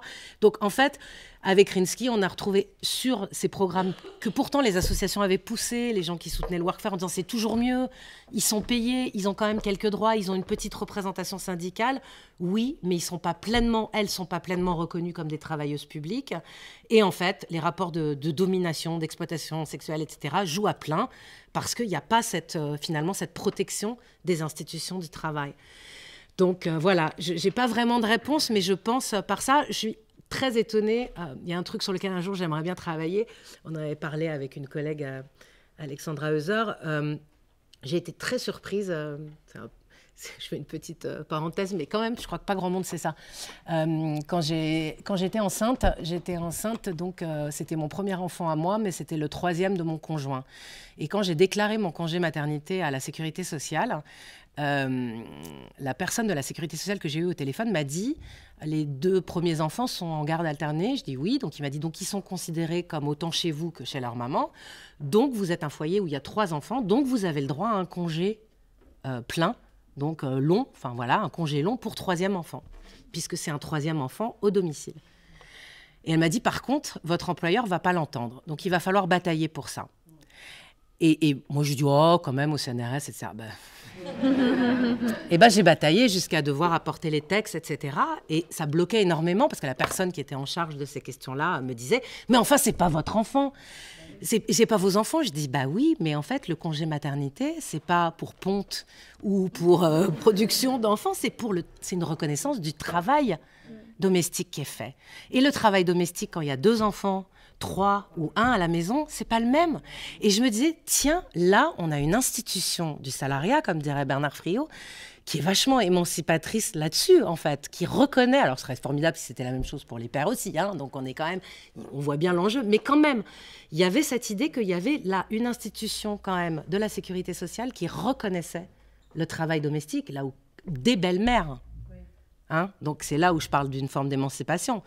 C'est-à-dire qu'il y avait une reconnaissance. Alors il faudrait que ça, évidemment, euh, bon, ça reste sur les femmes. Mais quand même, il y avait cette reconnaissance-là. Et je me dis, peut-être que c'est dans ces enjeux-là ou dans ces interstices-là qu'il y a des formes à, pister, à, rechercher. Voilà. J'ai pas de réponse simple, sinon que, sinon que je crois pas à l'individu. Enfin, une réponse individuelle, c'est-à-dire on donne de l'argent à tout le monde et chacun fait comme il veut avec les activités qu'il veut. Ça, je pense que dans l'état dans lequel on est aujourd'hui, plus avec le fonctionnement des rapports sociaux, ça jouera à plein euh, dans le contexte actuel pour, à mon avis, réassigner encore plus les femmes euh, à plein de formes de travail gratuit. Euh, donc voilà, j'ai un espoir plutôt sur des formes de, effectivement de, de, salariat qui pourraient reconnaître, hein, qui pourrait reconnaître notre statut de producteur dans plein d'espaces différents, en fait. Et qui nous donnerait les moyens de vivre. parce que voilà, je, je, suis tout à fait d'accord avec ce que vous dites sur le fait que le travail n'est pas que. Et en même temps, je ne veux pas du tout qu'on rate la, la base matérielle et matérialiste du travail. Enfin, je pense que voilà, je pense qu'il faut garder cette. Ouais, ouais. Peut-être laisser, peut-être laisser à Maria ah, répondre.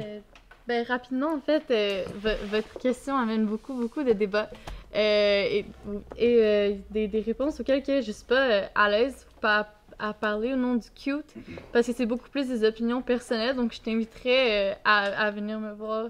Ben, je vous inviterai à venir me voir après l'événement pour qu'on puisse en discuter parce que malheureusement, c'est pas. le cute ne se spécialise pas là-dedans. Je veux pas commencer à dire des opinions personnelles au nom d'un comité.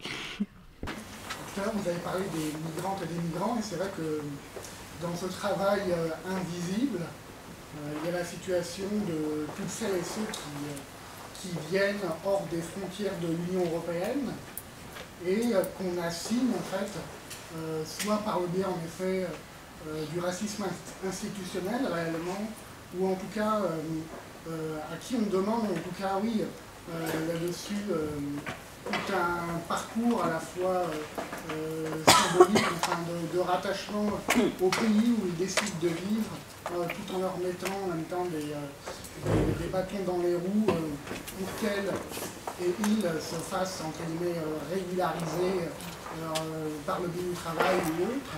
Et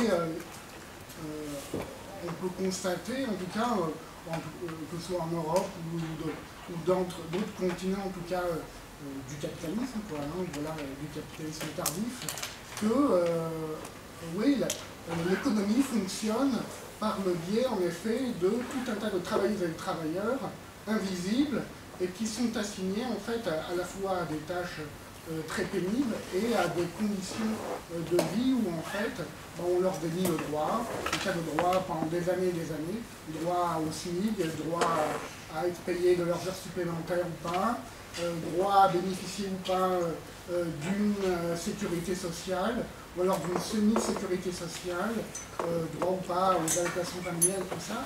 Et c'est vrai que ça, ça, pose plein, plein de questions sur, ouais, le, sur le capitalisme aujourd'hui et sur comment fonctionnent nos sociétés voilà, autour du travail par cette là où en euh, à plein de travailleurs travailleurs un, droit à la fois en tant que travailleur travailleur et, et, des, citoyennetés aussi. Ouais, monsieur. Je n'ai pas forcément de complément à apporter. Je n'ai voilà, pas forcément travaillé sur ces questions-là. Mais après, il y a quelques travaux qui sont intéressants de chercheurs sur euh, justement les transformations de, de la notion de citoyenneté aujourd'hui et cette idée d'une euh, voilà d'une citoyenneté éthique, d'une citoyenneté approuvée, d'une citoyenneté donc il faut en permanence euh, qui n'est plus finalement garantie mais qu'il faut en permanence aller euh, donc voilà je vois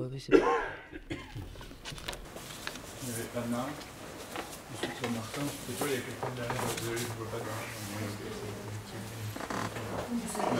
y derrière désolé je oui, voudrais aussi vous remercier. Vos interventions si intéressantes, aussi complémentaires d'une certaine façon. Euh, j'aurais une question sur le, si vous avez des éléments sur le service civique universel qui va arriver euh, sous peu et qui semble vraiment très, très compliqué. Euh, Mais je voudrais aussi vous remercier pour votre, cette idée de travail gratuit comme épreuve. Euh, dans certains pays euh, nordiques, je pense par exemple au Danemark, euh, l'entrée à l'université se fait d'une façon très différente de la France. il n'y a pas d'APB ni parcours sup. il y a une échelle, une moyenne, et on peut ajouter des points à cette moyenne. La moyenne, c'est des études, elle est fournie par les examens, et après, il y a des points des points qui peuvent venir justement de ce travail gratuit, c'est-à-dire on peut s'occuper des personnes âgées, ça donne beaucoup de points, on peut s'occuper d'enfants, ça donne beaucoup moins de points, ah euh, oui, euh, il y a toute euh, une liste de, pour, voilà, pour essayer de avoir un peu plus de, de bonification, en fait, de bonus, pour euh, pouvoir entrer euh, à l'université. Ça, y a ça aussi au... Ben, pas de la même façon, mais c'est sûr que, que l'entrée à l'université euh, se fait de moyens très différentes aussi. euh, C'est pas vraiment une réponse à la question, là, mais. Ouais, aux États-Unis, il y a ça aussi pendant les cursus, mais d'ailleurs, il y a eu des, des, euh, des choses qui ont été mises en place en France là-dessus aussi, hein, sur, euh, sur certaines, euh, certains euh, types d'engagements qui peuvent être euh, valorisés à l'intérieur des, cursus. Donc, euh, c'est une idée qui, circule. Aux États-Unis, ça a été vraiment systématisé. où il y a vraiment, du coup, la question s'est posée de ce qu'ils appellent mandatory volunteering, donc des formes de, bénévolat un peu obligatoires dans certains cursus. Donc, ouais, ouais. Mais, mais par contre, je savais pas qu'on avait des points différents en fonction des, des missions. Ça, je t'avoue que c'est la première fois que j'entends ça. Ce serait intéressant d'aller voir les hiérarchies derrière, euh, effectivement, qui sont faites des publics. euh. Euh, Moi, c'est très rapide. J'avais une question rapide, mais juste avant, euh, un ajout sur euh, la question de- des enfants, de la prise en charge des enfants, pour parler de votre expérience euh, avec euh, les trois enfants, le quand vous avez eu les deux enfants avant votre mouvement. Il y a aussi, c'est vrai, une hiérarchisation dans cette perception-là, parce que je sais que ça peut être très difficile aussi parfois de- d'accueillir un enfant quand on adopte. Euh, et le congé maternité, dans ce cas-là, le congé parental, est quasiment pas. Enfin, il n'existe pas en fait, euh, quasiment. Et... Ah si, juridiquement, il existe, mais il n'est pas mis en place. Justement, Ouais. pour faire écho à votre expérience, Ouais, et tout, euh, très, très souvent, il est très difficile à faire entendre en fait, parce que justement, on n'a pas pondu euh, l'enfant en question. Ouais, ouais, ouais, tout à fait. Et du coup, voilà, c'était juste un ajout là-dessus, et ça me ça va rebondir sur la remarque avant. Il y a moins de points pour s'occuper des enfants, alors si en plus il a adopté, je me demande euh, du coup ce que ça donne. Et la question qui était très rapide, c'était sur la question des blogueurs euh, du African Post dont on parlait tout à l'heure. C'est quoi l'issue pour eux? Il y a eu une issue, est-ce qu'ils ont réussi? Moi je indépendantes, euh, je suis traductrice, et on a beaucoup de mal en ce moment à essayer de se réunir pour euh, essayer de faire entendre un peu nos voix, donc là j'aimerais bien savoir comment ça a pu. Non, mais j'ai pas une bonne nouvelle. ils n'ont pas gagné. euh, Ils n'ont pas gagné, ils ont perdu Mama. C'est à la fois un, un- procès qui a fait beaucoup de bruit, c'est-à-dire que pa- parce que c'était le Huffington Post, parce que c'était Ariana Huffington, enfin voilà, qui est une personnalité très particulière aux États-Unis, parce que c'était un journal qui s'était positionné comme démocrate, de gauche à un moment donné, de l'Amérique de George Bush, etc. Donc ça a fait beaucoup de bruit, euh, mais en fait, ça n'a pas du tout pris. euh, Enfin, voilà, ça s'est arrêté très vite, euh, l'action en non collectif. Sur le. et l'argument qui a été utilisé par le juge, ça a été de dire vous, on ne vous a jamais promis que vous seriez rémunéré. Vous avez accepté, les yeux grands ouverts, ce contrat-là. Donc, euh, il n'y a, pas eu de- a pas eu de mensonge parce qu'ils avaient attaqué euh, sur plusieurs chefs, mais notamment celui-là, de deception, donc de, voilà, de l'idée qu'on les avait, euh, les avait trompés. Et euh, on leur a dit non, on vous a pas trompé, elle ne vous a jamais trompé, on vous a jamais promis qu'il y aurait une rémunération. Alors, il y avait un contrat implicite.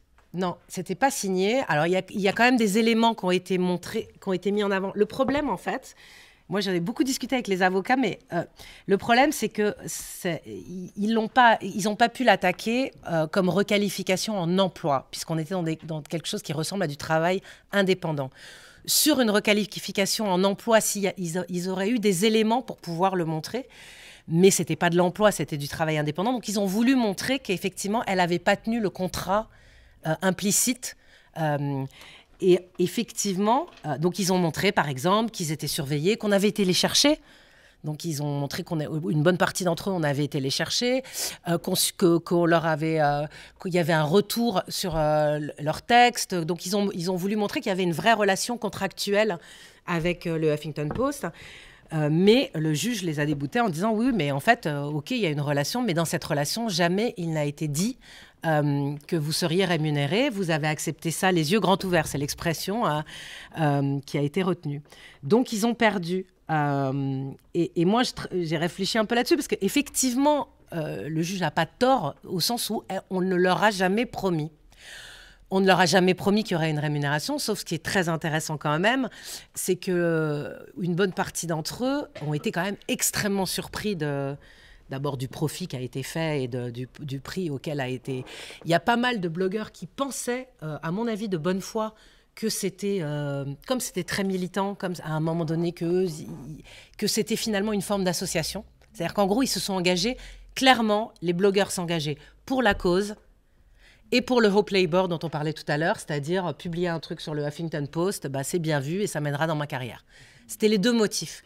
Donc en fait, eux, ils avaient l'impression qu'ils avaient un engagement pour eux, que ce travail gratuit, ils le faisaient pour eux, hein, pour leur cause. C'était une forme de militantisme d'un côté, panaché d'un engagement pour euh, ma carrière de demain. hein, parce que si j'ai un bon texte sur le Huffington Post, ça me fera reconnaître, c'est valorisé, etc.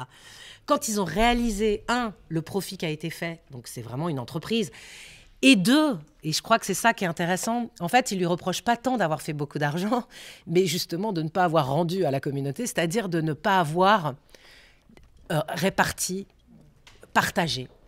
Et d'ailleurs, c'est intéressant parce que je vous disais, il y avait 9000 blogueurs euh, bénévoles, il y avait une centaine de journalistes, il y a 315 millions de dollars, et en fait, ils ont demandé qu'on leur soit rétrocédé un tiers de ces 315 millions de dollars. Et quand j'ai demandé au- à l'avocat, j'ai voulu savoir comment ils avaient décidé, en fait, comment ils avaient compté ce un tiers, c'est-à-dire comment ils avaient mesuré la valeur de leur production. Et il m'a dit, on n'a pas fait de calcul, on a essayé de trouver quelque chose de juste. Donc en fait, on est dans un registre qui est, c'est pas juste, elle a fait beaucoup d'argent grâce à notre travail, elle s'est appropriée finalement notre travail, et elle n'a pas, ils disent tous, il aurait suffi qu'elle donne quelques dollars à chacun des qu'elle repartage en partie, qu'elle voilà, mais elle a tout gardé pour elle et du coup, on s'est senti tout d'un coup exploité. Donc je trouve que c'est un cas d'école qui est intéressant parce que en fait, c'est pas juste le fait qu'elle ait fait du profit. C'est plus compliqué que ça. C'est le fait qu'ils se sont sentis trahis parce que s'engager pour une cause, parce que s'engager pour eux et qu'ils se sont rendus compte que ce travail-là était approprié de manière effectivement capitaliste et purement capitaliste euh, par, euh, par les dirigeants du journal.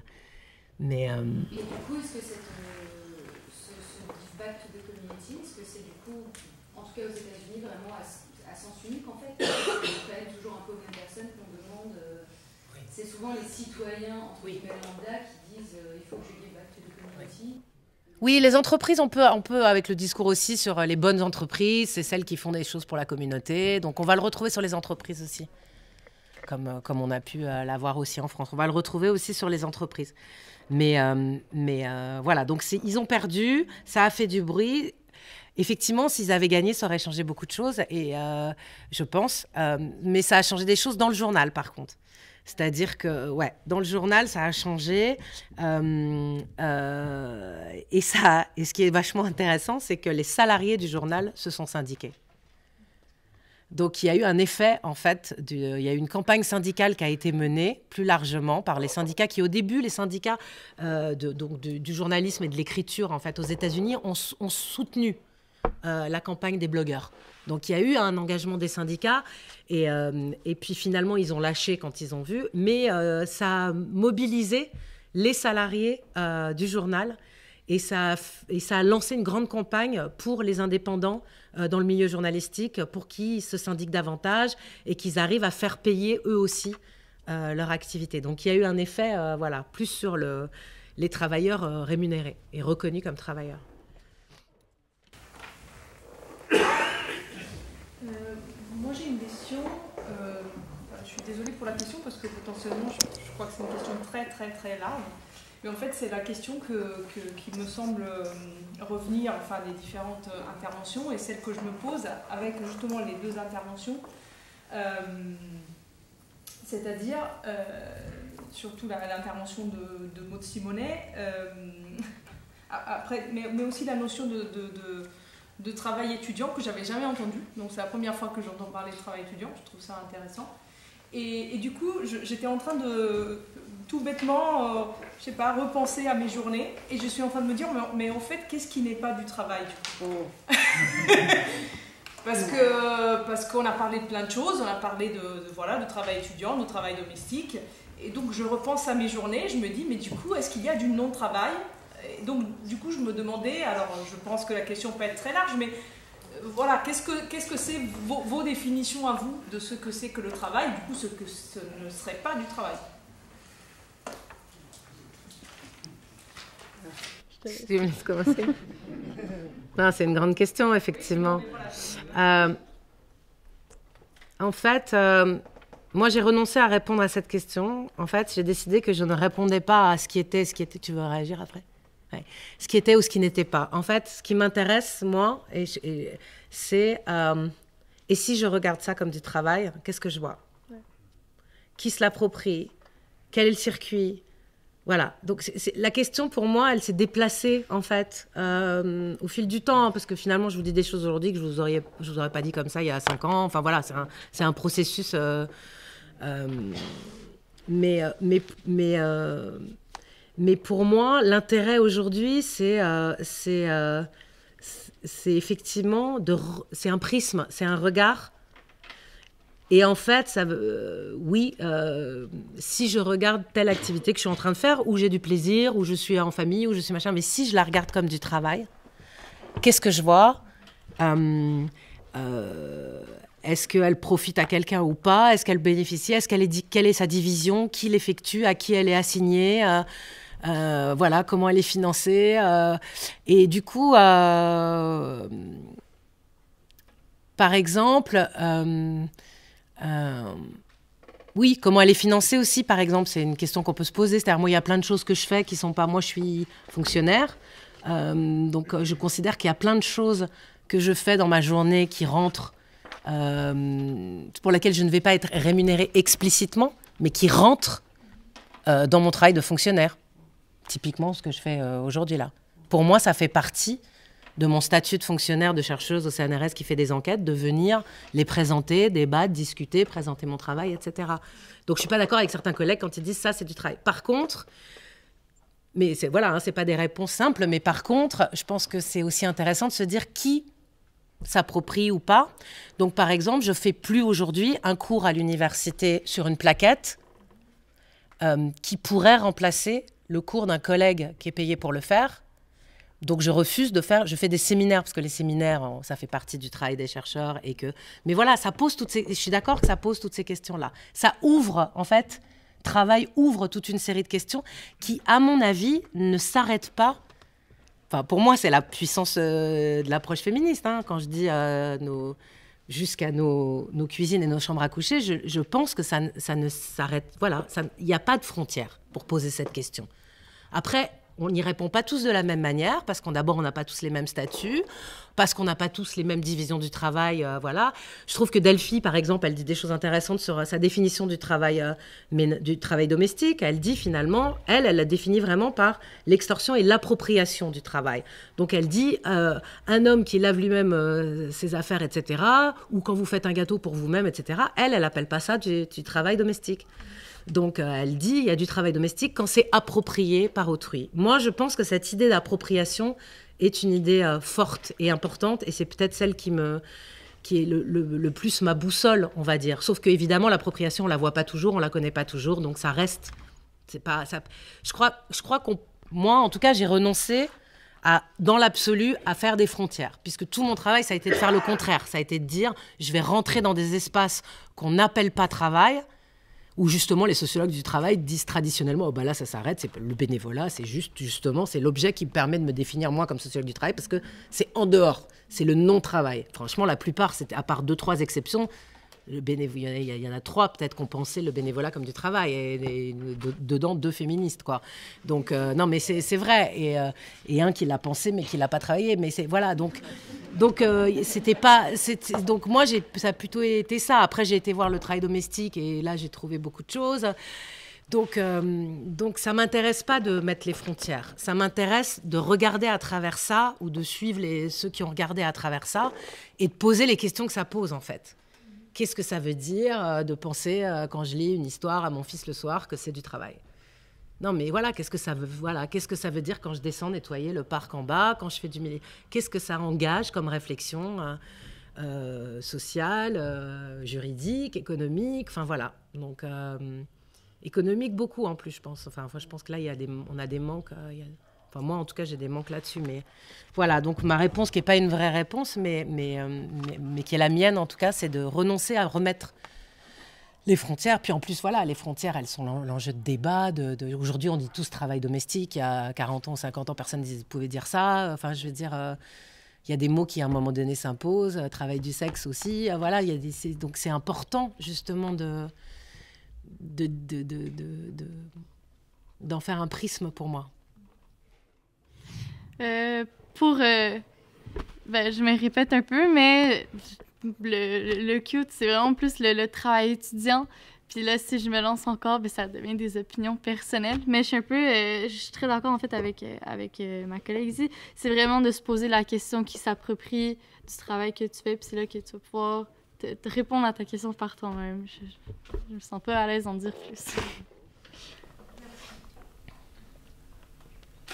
Je voulais juste ajouter, si euh, on se réfère aux théories justement féministes, euh, la position sociale, Federici, etc., euh, elle, ce qui est posé justement, c'est que la définition comme travail et notamment la revendication et l'obtention fine d'un salaire, c'est pas une fin en soi, c'est justement en train le début de la lutte.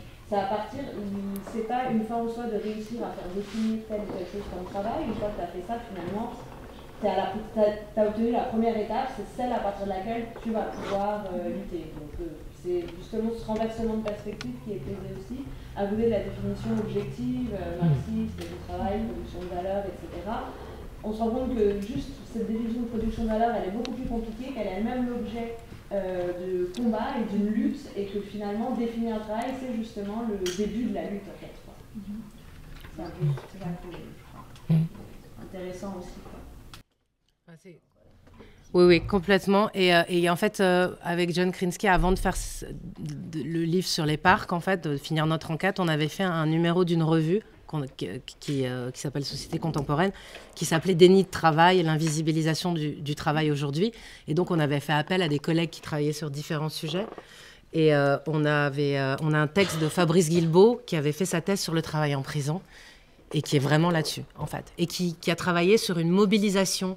Donc je vous invite à le chercher, le texte, et à, le, lire. Il est vraiment hyper intéressant sur une mobilisation, en fait, en prison autour de, de, de- de- des, rémunérations. Et il montre qu'en fait, c'est tellement important. Alors, il montre bien tout ce discours-là, euh, mais il montre aussi que c'est tellement important pour euh, les prisonniers que du coup, euh, dans la mobilisation, on ne va pas jusqu'à demander le même salaire que si on était en dehors, parce qu'il y a la peur de perdre la possibilité de faire ce travail-là. Donc il y a vraiment... Et, d'ailleurs, c'est des enjeux qu'on retrouve aussi sur la question du... qu'on peut retrouver sur la question du workfare aussi. hein. C'est-à-dire que même si c'est un travail contraint, pour les gens, pour une partie des gens qui, qui, qui sont allocataires de l'aide sociale et qui font ce travail-là, il est extrêmement important, ce travail, de nettoyer les parcs, etc. Enfin voilà, c'est... euh, il y, a- vraiment un discours où pour eux, euh, effectivement, c'est un travail important. Donc, euh, c'est pas juste une, enfin, c'est une rhétorique politique. C'est ce qui fonde les politiques qui sont mises en place, mais ça, ça, ma- ça marche. Enfin, c'est parce que, parce que effectivement, il y a cette idée que bah, on se rend utile et qu'on rend à la communauté quand on vient travailler, nettoyer le parc. Il y a un engagement fort dans ce qu'ils font. Donc voilà. Et donc euh, euh, voilà, moi j'ai pas travaillé sur le, le travail en prison, mais, mais le, le- l'article de Fabrice Guilbeault, il est vraiment là-dessus. Donc je pense que et puis il a écrit d'autres choses là-dessus. Donc euh, c'est, c'est- mais vous avez raison. C'est pour ça qu'on lui avait demandé aussi un, un papier là-dessus. Euh, alors moi je vais juste euh, euh, te répondre très rapidement sur la question des artistes. Il y a Singablia qui a travaillé Oui, là-dessus. j'ai aimé ces deux. Euh, voilà, donc tu peux regarder euh, sur la façon dont c'est genré et la façon dont on accepte la gratuité. Je m'intéresse pas mal à ces questions parce que je suis euh, artiste chercheuse. Et il y a quelque chose le 25 sur la question euh, des artistes. Est-ce qu'ils ont vraiment besoin de manger On ne sait pas. Donc on se pose beaucoup la question en ce moment. Donc il y a un rendez-vous vendredi 25 autour de cette question. J'ai oublié le lieu, mais euh, si je le trouve, je le transmettrai à Réseau Salariat. Enfin, on essaiera de retrouver.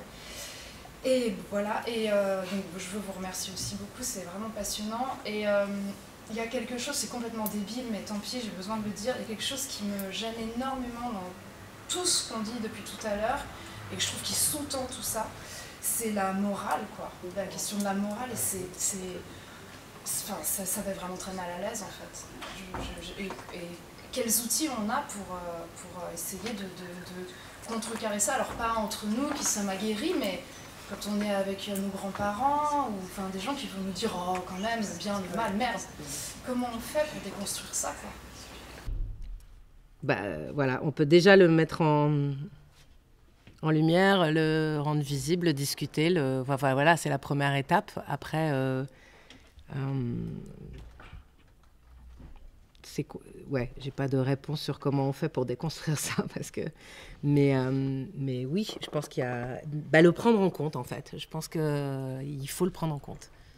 Il faut le prendre en compte et il faut le prendre en compte comme morale, mais il faut le prendre en compte aussi comme valeur, c'est-à-dire euh, il y a aussi des. C'est pas simplement ces dimensions-là, je pense qu'on peut pas simplement les, les, les dévoiler et ne pas les prendre au sérieux, en fait. Je pense qu'il faut les dévoiler pour montrer qu'il y a des politiques qui mettent au travail, au nom, etc.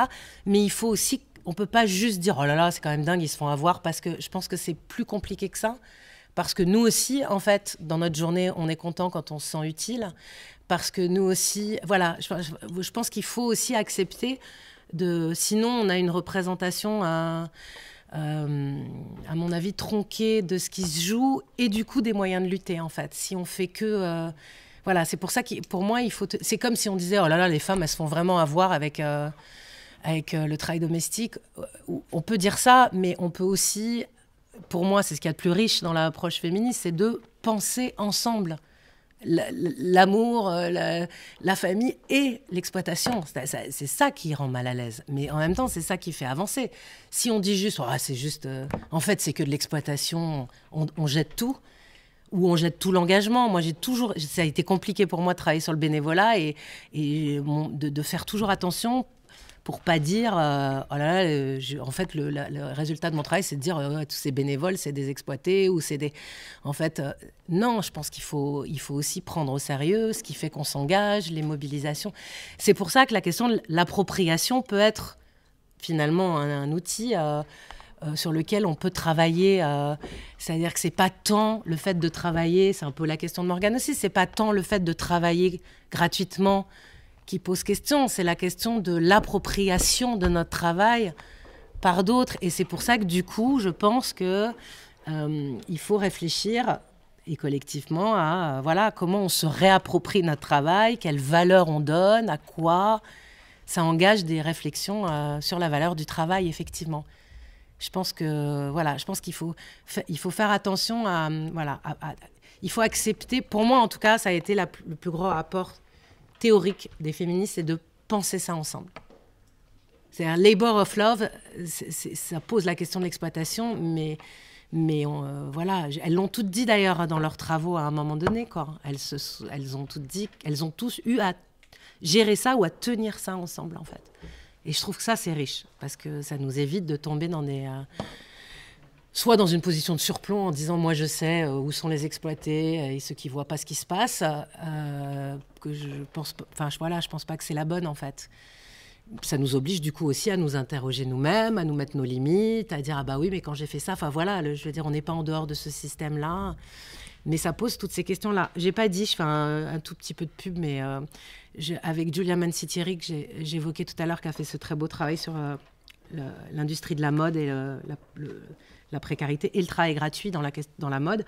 On a lancé un séminaire qui s'appelle Approche empirique de l'exploitation, où on invite des chercheurs à venir présenter leurs travaux. Et en fait, on veut reprendre la question de l'exploitation, mais par des enquêtes, par des gens qui, sur leur terrain, donc des anthropologues, des sociologues, etc., se sont confrontés à des questions. On dit tiens, ça, ça ressemble à l'exploitation, mais est-ce que je vais m'autoriser à utiliser ce terme et de, quel sens je vais lui donner euh, et du coup quelle filiation théorique je vais prendre, etc. Et, à et du coup, c'est pas empirie pour empirie, c'est l'idée de rediscuter de cette question de l'exploitation euh, à partir d'enquêtes et de le faire collectivement. Donc, par exemple, on n'enregistre pas, on filme pas, on, on veut que ce soit un atelier ouvert où chacun peut proposer des trucs, parler en son nom propre, mais proposer des trucs ou dire dix ans après non, mais je me suis trompée dans la défense. Voilà, on veut que ce soit un truc libre euh, de. Et, euh, euh, et du coup, on avait commencé d'abord toutes les deux, elle sur son travail et moi sur le mien, à dire comment on en était arrivé à attraper cette notion et qu'est-ce qu'on veut en faire. Mais aussi toutes les questions que ça pose. C'est pas facile, enfin, de parler d'exploitation. On a toujours, ça, ça, ouvre plein de questions, dont celle-là, je pense. Enfin, pour moi, en tout cas, en tant que chercheur, ça ouvre celle-là. Ça ouvre vraiment celle-là de, de, qui je parle quand je dis ça. Est-ce que j'assigne, des... est-ce que je vais dire à des gens, en fait, vous, vous êtes exploité parce que vous n'avez pas vu. Euh, je pense, voilà, c'est pas la position qu'on a envie de prendre. Puis quelque part, je pense qu'elle est simple aussi. Je pense qu'elle est trop simple. Et, du coup, oui, la morale, mais la morale avec euh, toute cette idée de, à la fois de, j'ai envie de dire, la rhétorique politique jusqu'aux valeurs qui sont effectivement les nôtres et qui font qu'effectivement, quand on travaille, même dans des boulots difficiles, ingrats, etc., on sait qu'on qu qu y met autre chose, qu'on crée du collectif, qu'on met des valeurs, qu'on veut faire le travail bien fait, que voilà, on sait tout ça. Donc euh, voilà, c'est euh, prendre au sérieux aussi. Enfin, moi, je me souviens quand un allocataire de RSA me dit Bah ouais, mais moi, je sors de chez moi et, je... et ça change tout, en fait, d'aller nettoyer, euh, bah, d'entendre ce qu'il me dit, en fait. C'est pas juste euh, parce que effectivement la municipalité utilise son travail gratuit euh, pour nettoyer euh, les parcs alors qu'ils ont moins de, de, de fonctionnaires. C'est clair, j'ai retrouvé là dans des petites communes de France exactement la même chose que dans les parcs de New York, une municipalité dont, qui fait faire en partie son travail. Mais, mais je veux dire, il faut entendre aussi quand il dit bah ouais, mais moi j'ai là une utilité sociale. Enfin voilà, faut le prendre au sérieux aussi, faut, faut l'entendre. Et du coup, euh, et en même temps, pouvoir se dire, euh, et en même temps, il n'est pas payé pour faire ça, alors qu'à côté, un fonctionnaire municipal l'est. Pour moi, il faut tenir ça ensemble. C'est pas facile. Ça, fait, mais, mais oui, oui, je suis d'accord. Et parfois, on, glisse plus dans l'un ou dans l'autre. Euh, mais, mais c'est pour moi, c'est l'objectif un peu ultime. Et c'est là qu'on peut arriver à faire des choses politiquement, à mon avis.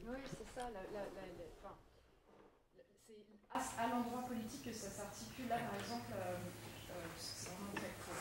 Euh, il est question, dans certains sujets ministériels, euh, d'associer création et patrimoine et de proposer à des artistes de récupérer des vieux châteaux dont les territoires ne peuvent pas investir, dans lesquels les, territoires ne peuvent pas investir pour les réhabiliter ou quoi, et donc du coup de les mettre là et en disant bah, ils sont contents, ils ont un endroit pour créer, puis ça va faire de la vie, ça va faire de la culture et tout.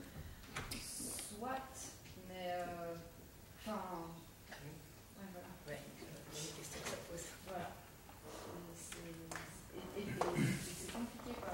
Vu sous l'angle Enfin, j'avais pas du tout envisagé avant, parce que, je, que je me pose pas tout le temps la question de la domination, mais vu sous l'angle du, rachat de sa condition, c'est vraiment dur. Non, non, mais je pense que c'est pour ça que les réflexions, par exemple, euh, je reviens à Bernard Friot, mais qui dit qu'il ne faut, pas, qu'il faut pas simplement se poser la question de la répartition, mais aussi de la définition de la valeur, qu'on ne peut pas penser la question de la tra du travail sans la question de la propriété. Enfin, c'est une manière de dire, en fait, il faut repolitiser. Mais pour moi, c'est aussi des choses que disent euh, Federici, etc., quand elle, dit à, quand elle répond en disant, mais non, en fait, ce n'est pas une question de...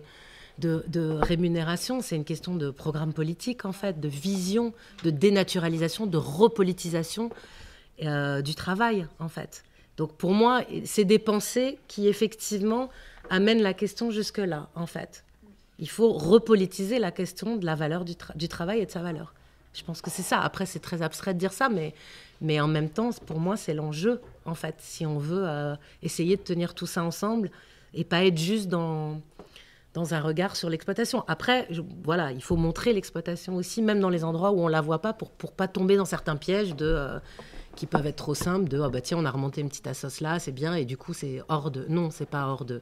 C'est pas parce qu'il n'y a pas de, profit là qu'il n'y a pas des enjeux en fait. Je pense que ça c'est euh... alors moi euh, quelque chose de peut-être plus anecdotique mais euh, qui entraîne des questionnements à part donc l'anecdote ça concerne l'expérience que moi j'ai eu en service civique dans une association en fait qui proposait euh, donc qui travaillait sur la recréation de liens sociaux avec les personnes sans domicile c'est un peu un truc assez moteur dans l'associatif de nos jours, euh, et qui proposait à des personnes sans domicile de faire du bénévolat dans la Donc euh, c'est quelque personnellement m'a interrogé. En ce que je de dire, euh, ça remet plusieurs questionnements en marge. Donc est-ce que vous avez réfléchi à ça? Et par extension, j'ai un questionnement sur l'insertion. Et donc comment donc, le monde de l'insertion et notamment les récents dispositifs d'insertion très progressive où il y a très peu d'horaires, de temps de travail, etc. Et qu'est-ce que ça va interroger par rapport au travail gratuit?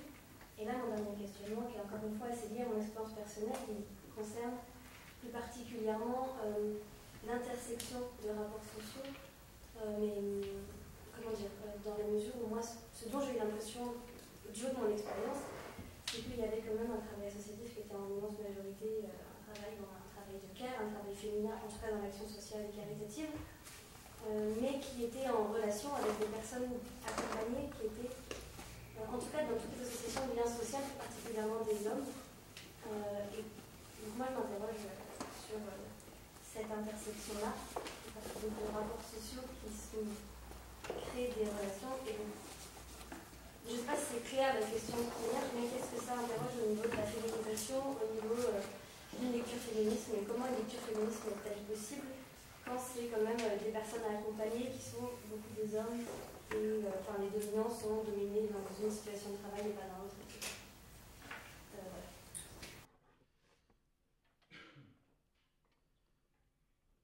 Alors, j'ai pas forcément des réponses euh, sur tout ça, parce que j'ai pas forcément travaillé sur tout ça, mais euh, euh,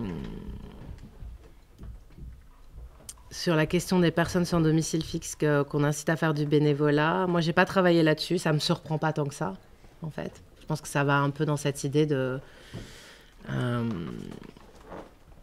avec peut-être euh, cet enjeu, alors je sais pas, il faudrait voir si ça fait la même chose. Moi, j'avais travaillé sur la question du bénévolat des chômeurs, en fait, qui pendant longtemps a été interdit.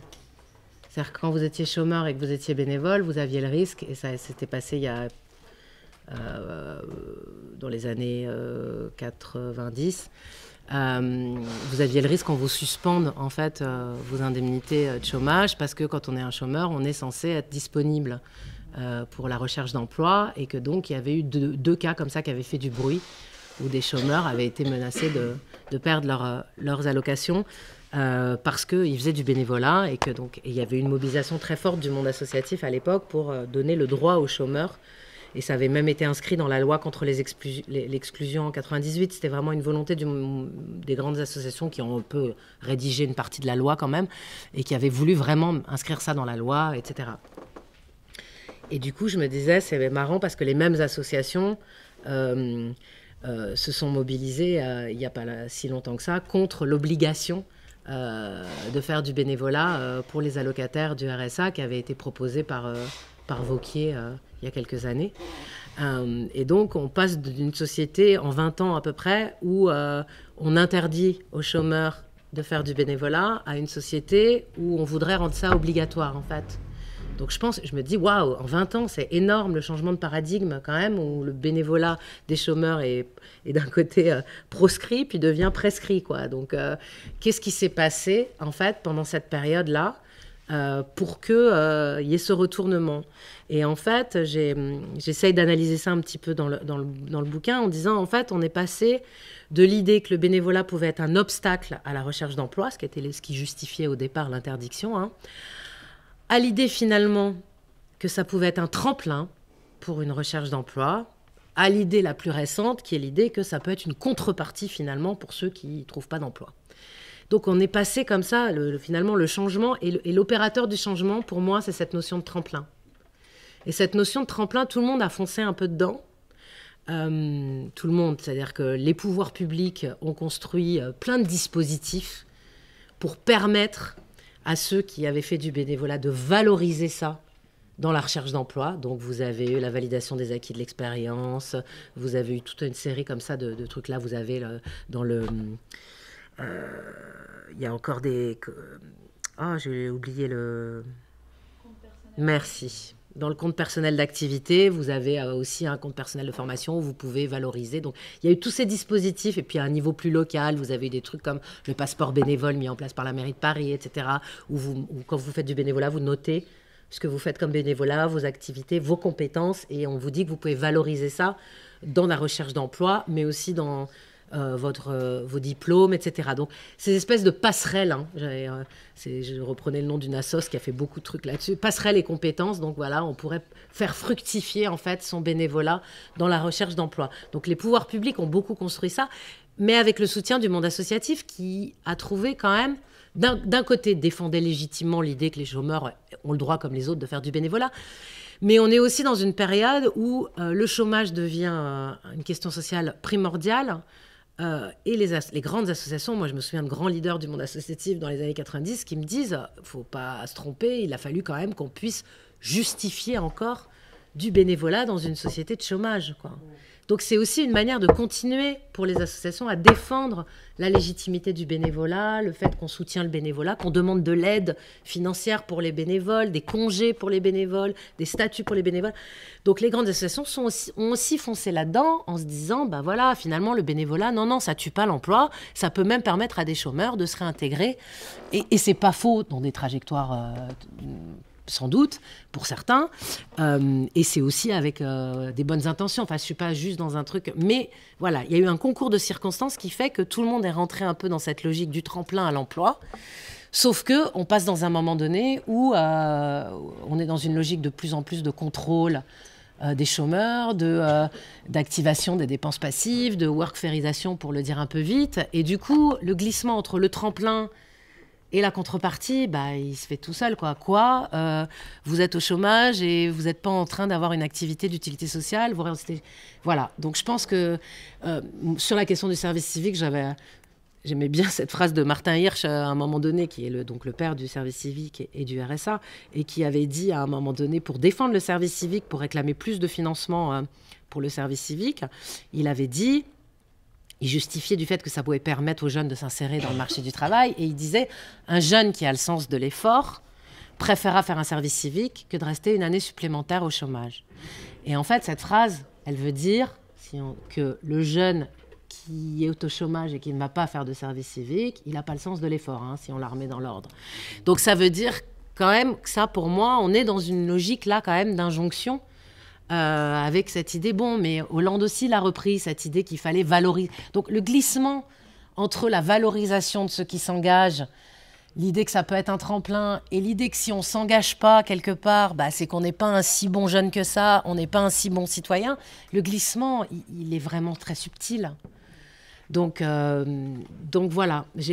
Mais en même temps, quand on regarde, le glissement est subtil, et en même temps, quand on regarde sur 20 ans, et qu'on se dit qu'on passe d'une interdiction à, des, enjeux d'obligation, c'est assez surprenant. Quoi.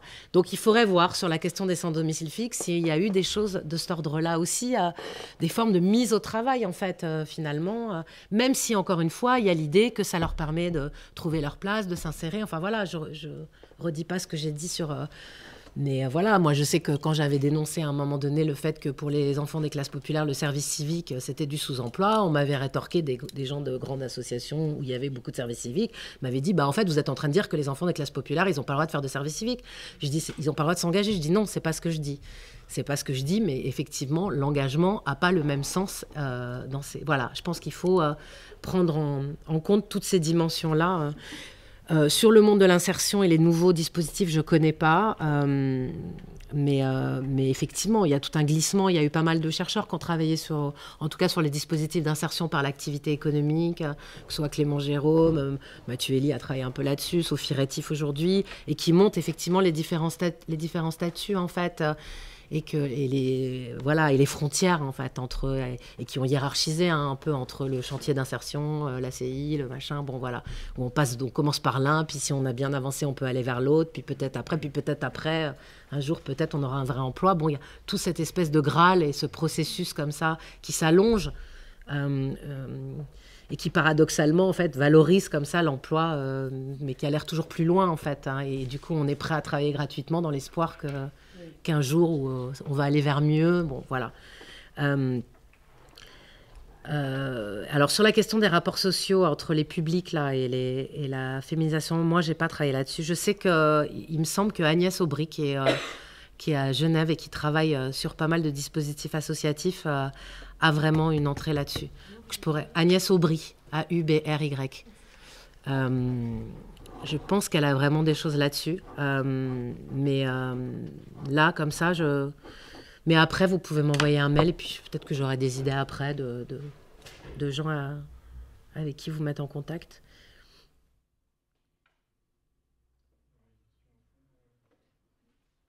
à l'enfance, d'ergothérapeutes, euh, sexologues, infirmières, etc., des sages-femmes sont associés au don de soi et à une propension présumée naturelle euh, des femmes à éduquer et à soigner. Naturellement dévouées en s'engageant par vocation, il apparaît ainsi justifié de demander toujours plus aux femmes pour moins ou pour rien, comme c'est le cas des stagiaires. D'ailleurs, les conditions de travail difficiles des enseignantes et des infirmières, par exemple, ne sont pas étrangères à ce raisonnement. Le travail gratuit en stage est en quelque sorte une préparation à un emploi où il faut s'attendre à ne pas être payé pour le travail accompli. Par exemple, aux étudiants qui seraient dans une situation précaire en stage, on réplique que c'est à elles de faire des, concessions, que le monde du travail est sans pitié et qu'il vaut mieux de se, de se, préparer dès maintenant. Ce n'est donc pas seulement un salaire pour les stagiaires qui est en jeu dans la lutte pour la reconnaissance du travail des femmes, mais c'est aussi des conditions de travail. C'est une occasion de dénaturaliser le travail de reproduction et de le rendre visible aux yeux de nos collègues, mais aussi de l'inscrire au sein de la reproduction du système capitaliste. Sans nier la pertinence de la lutte pour la gratuité scolaire, le CUBE va plus loin en proposant de repolitiser la question du travail dans le cadre des études. Il constitue donc un moyen de le rendre visible, ce qui est un premier pas vers la reconnaissance. Le débat sur la justification de la rémunération du travail accompli par les femmes et les étudiants et étudiantes à l'extérieur du milieu professionnel existe depuis bien des décennies. Euh, l'argument s'opposant à la rémunération se base sur une distinction entre travail productif et reproductif, qui insinue que le travail reproductif ne, devrait pas être reconnu vu que, vu que ce n'est pas un travail.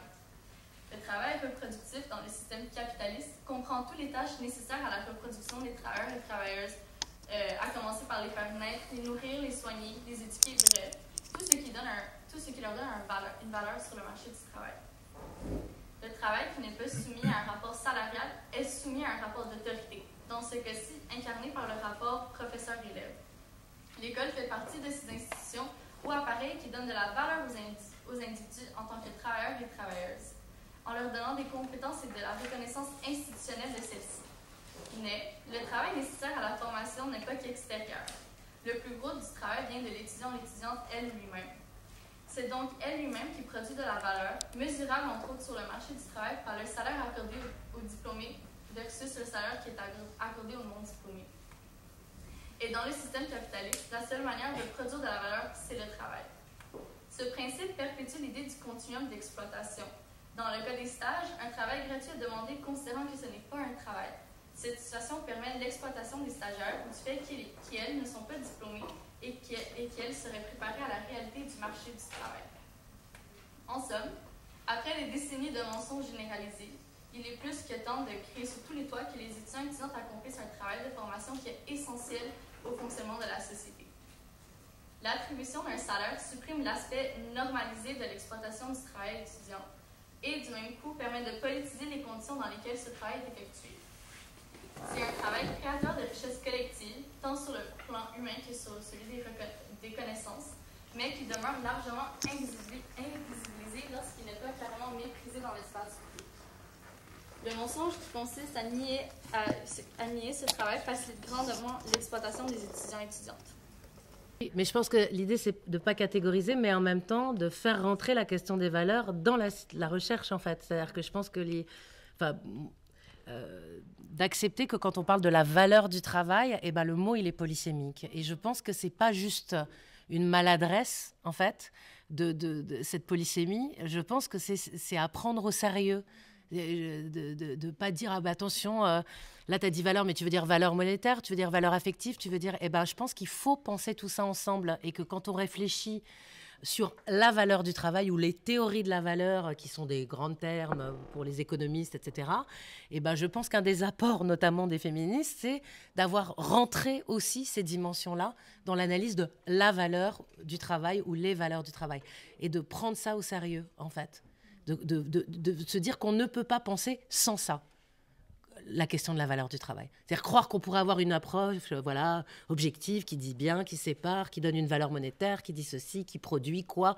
bah, on retombe dans le schéma, effectivement, où on invisibilise tout, en fait, qui rentre pas. Euh, on invisibilise le travail de reproduction, le travail des femmes. Euh, pas ça, c'est de l'amour, donc c'est pas du travail. Enfin, on retombe dans ce truc-là. Donc je pense que décloisonner, c'est décloisonner jusque-là, en fait. Et c'est accepter.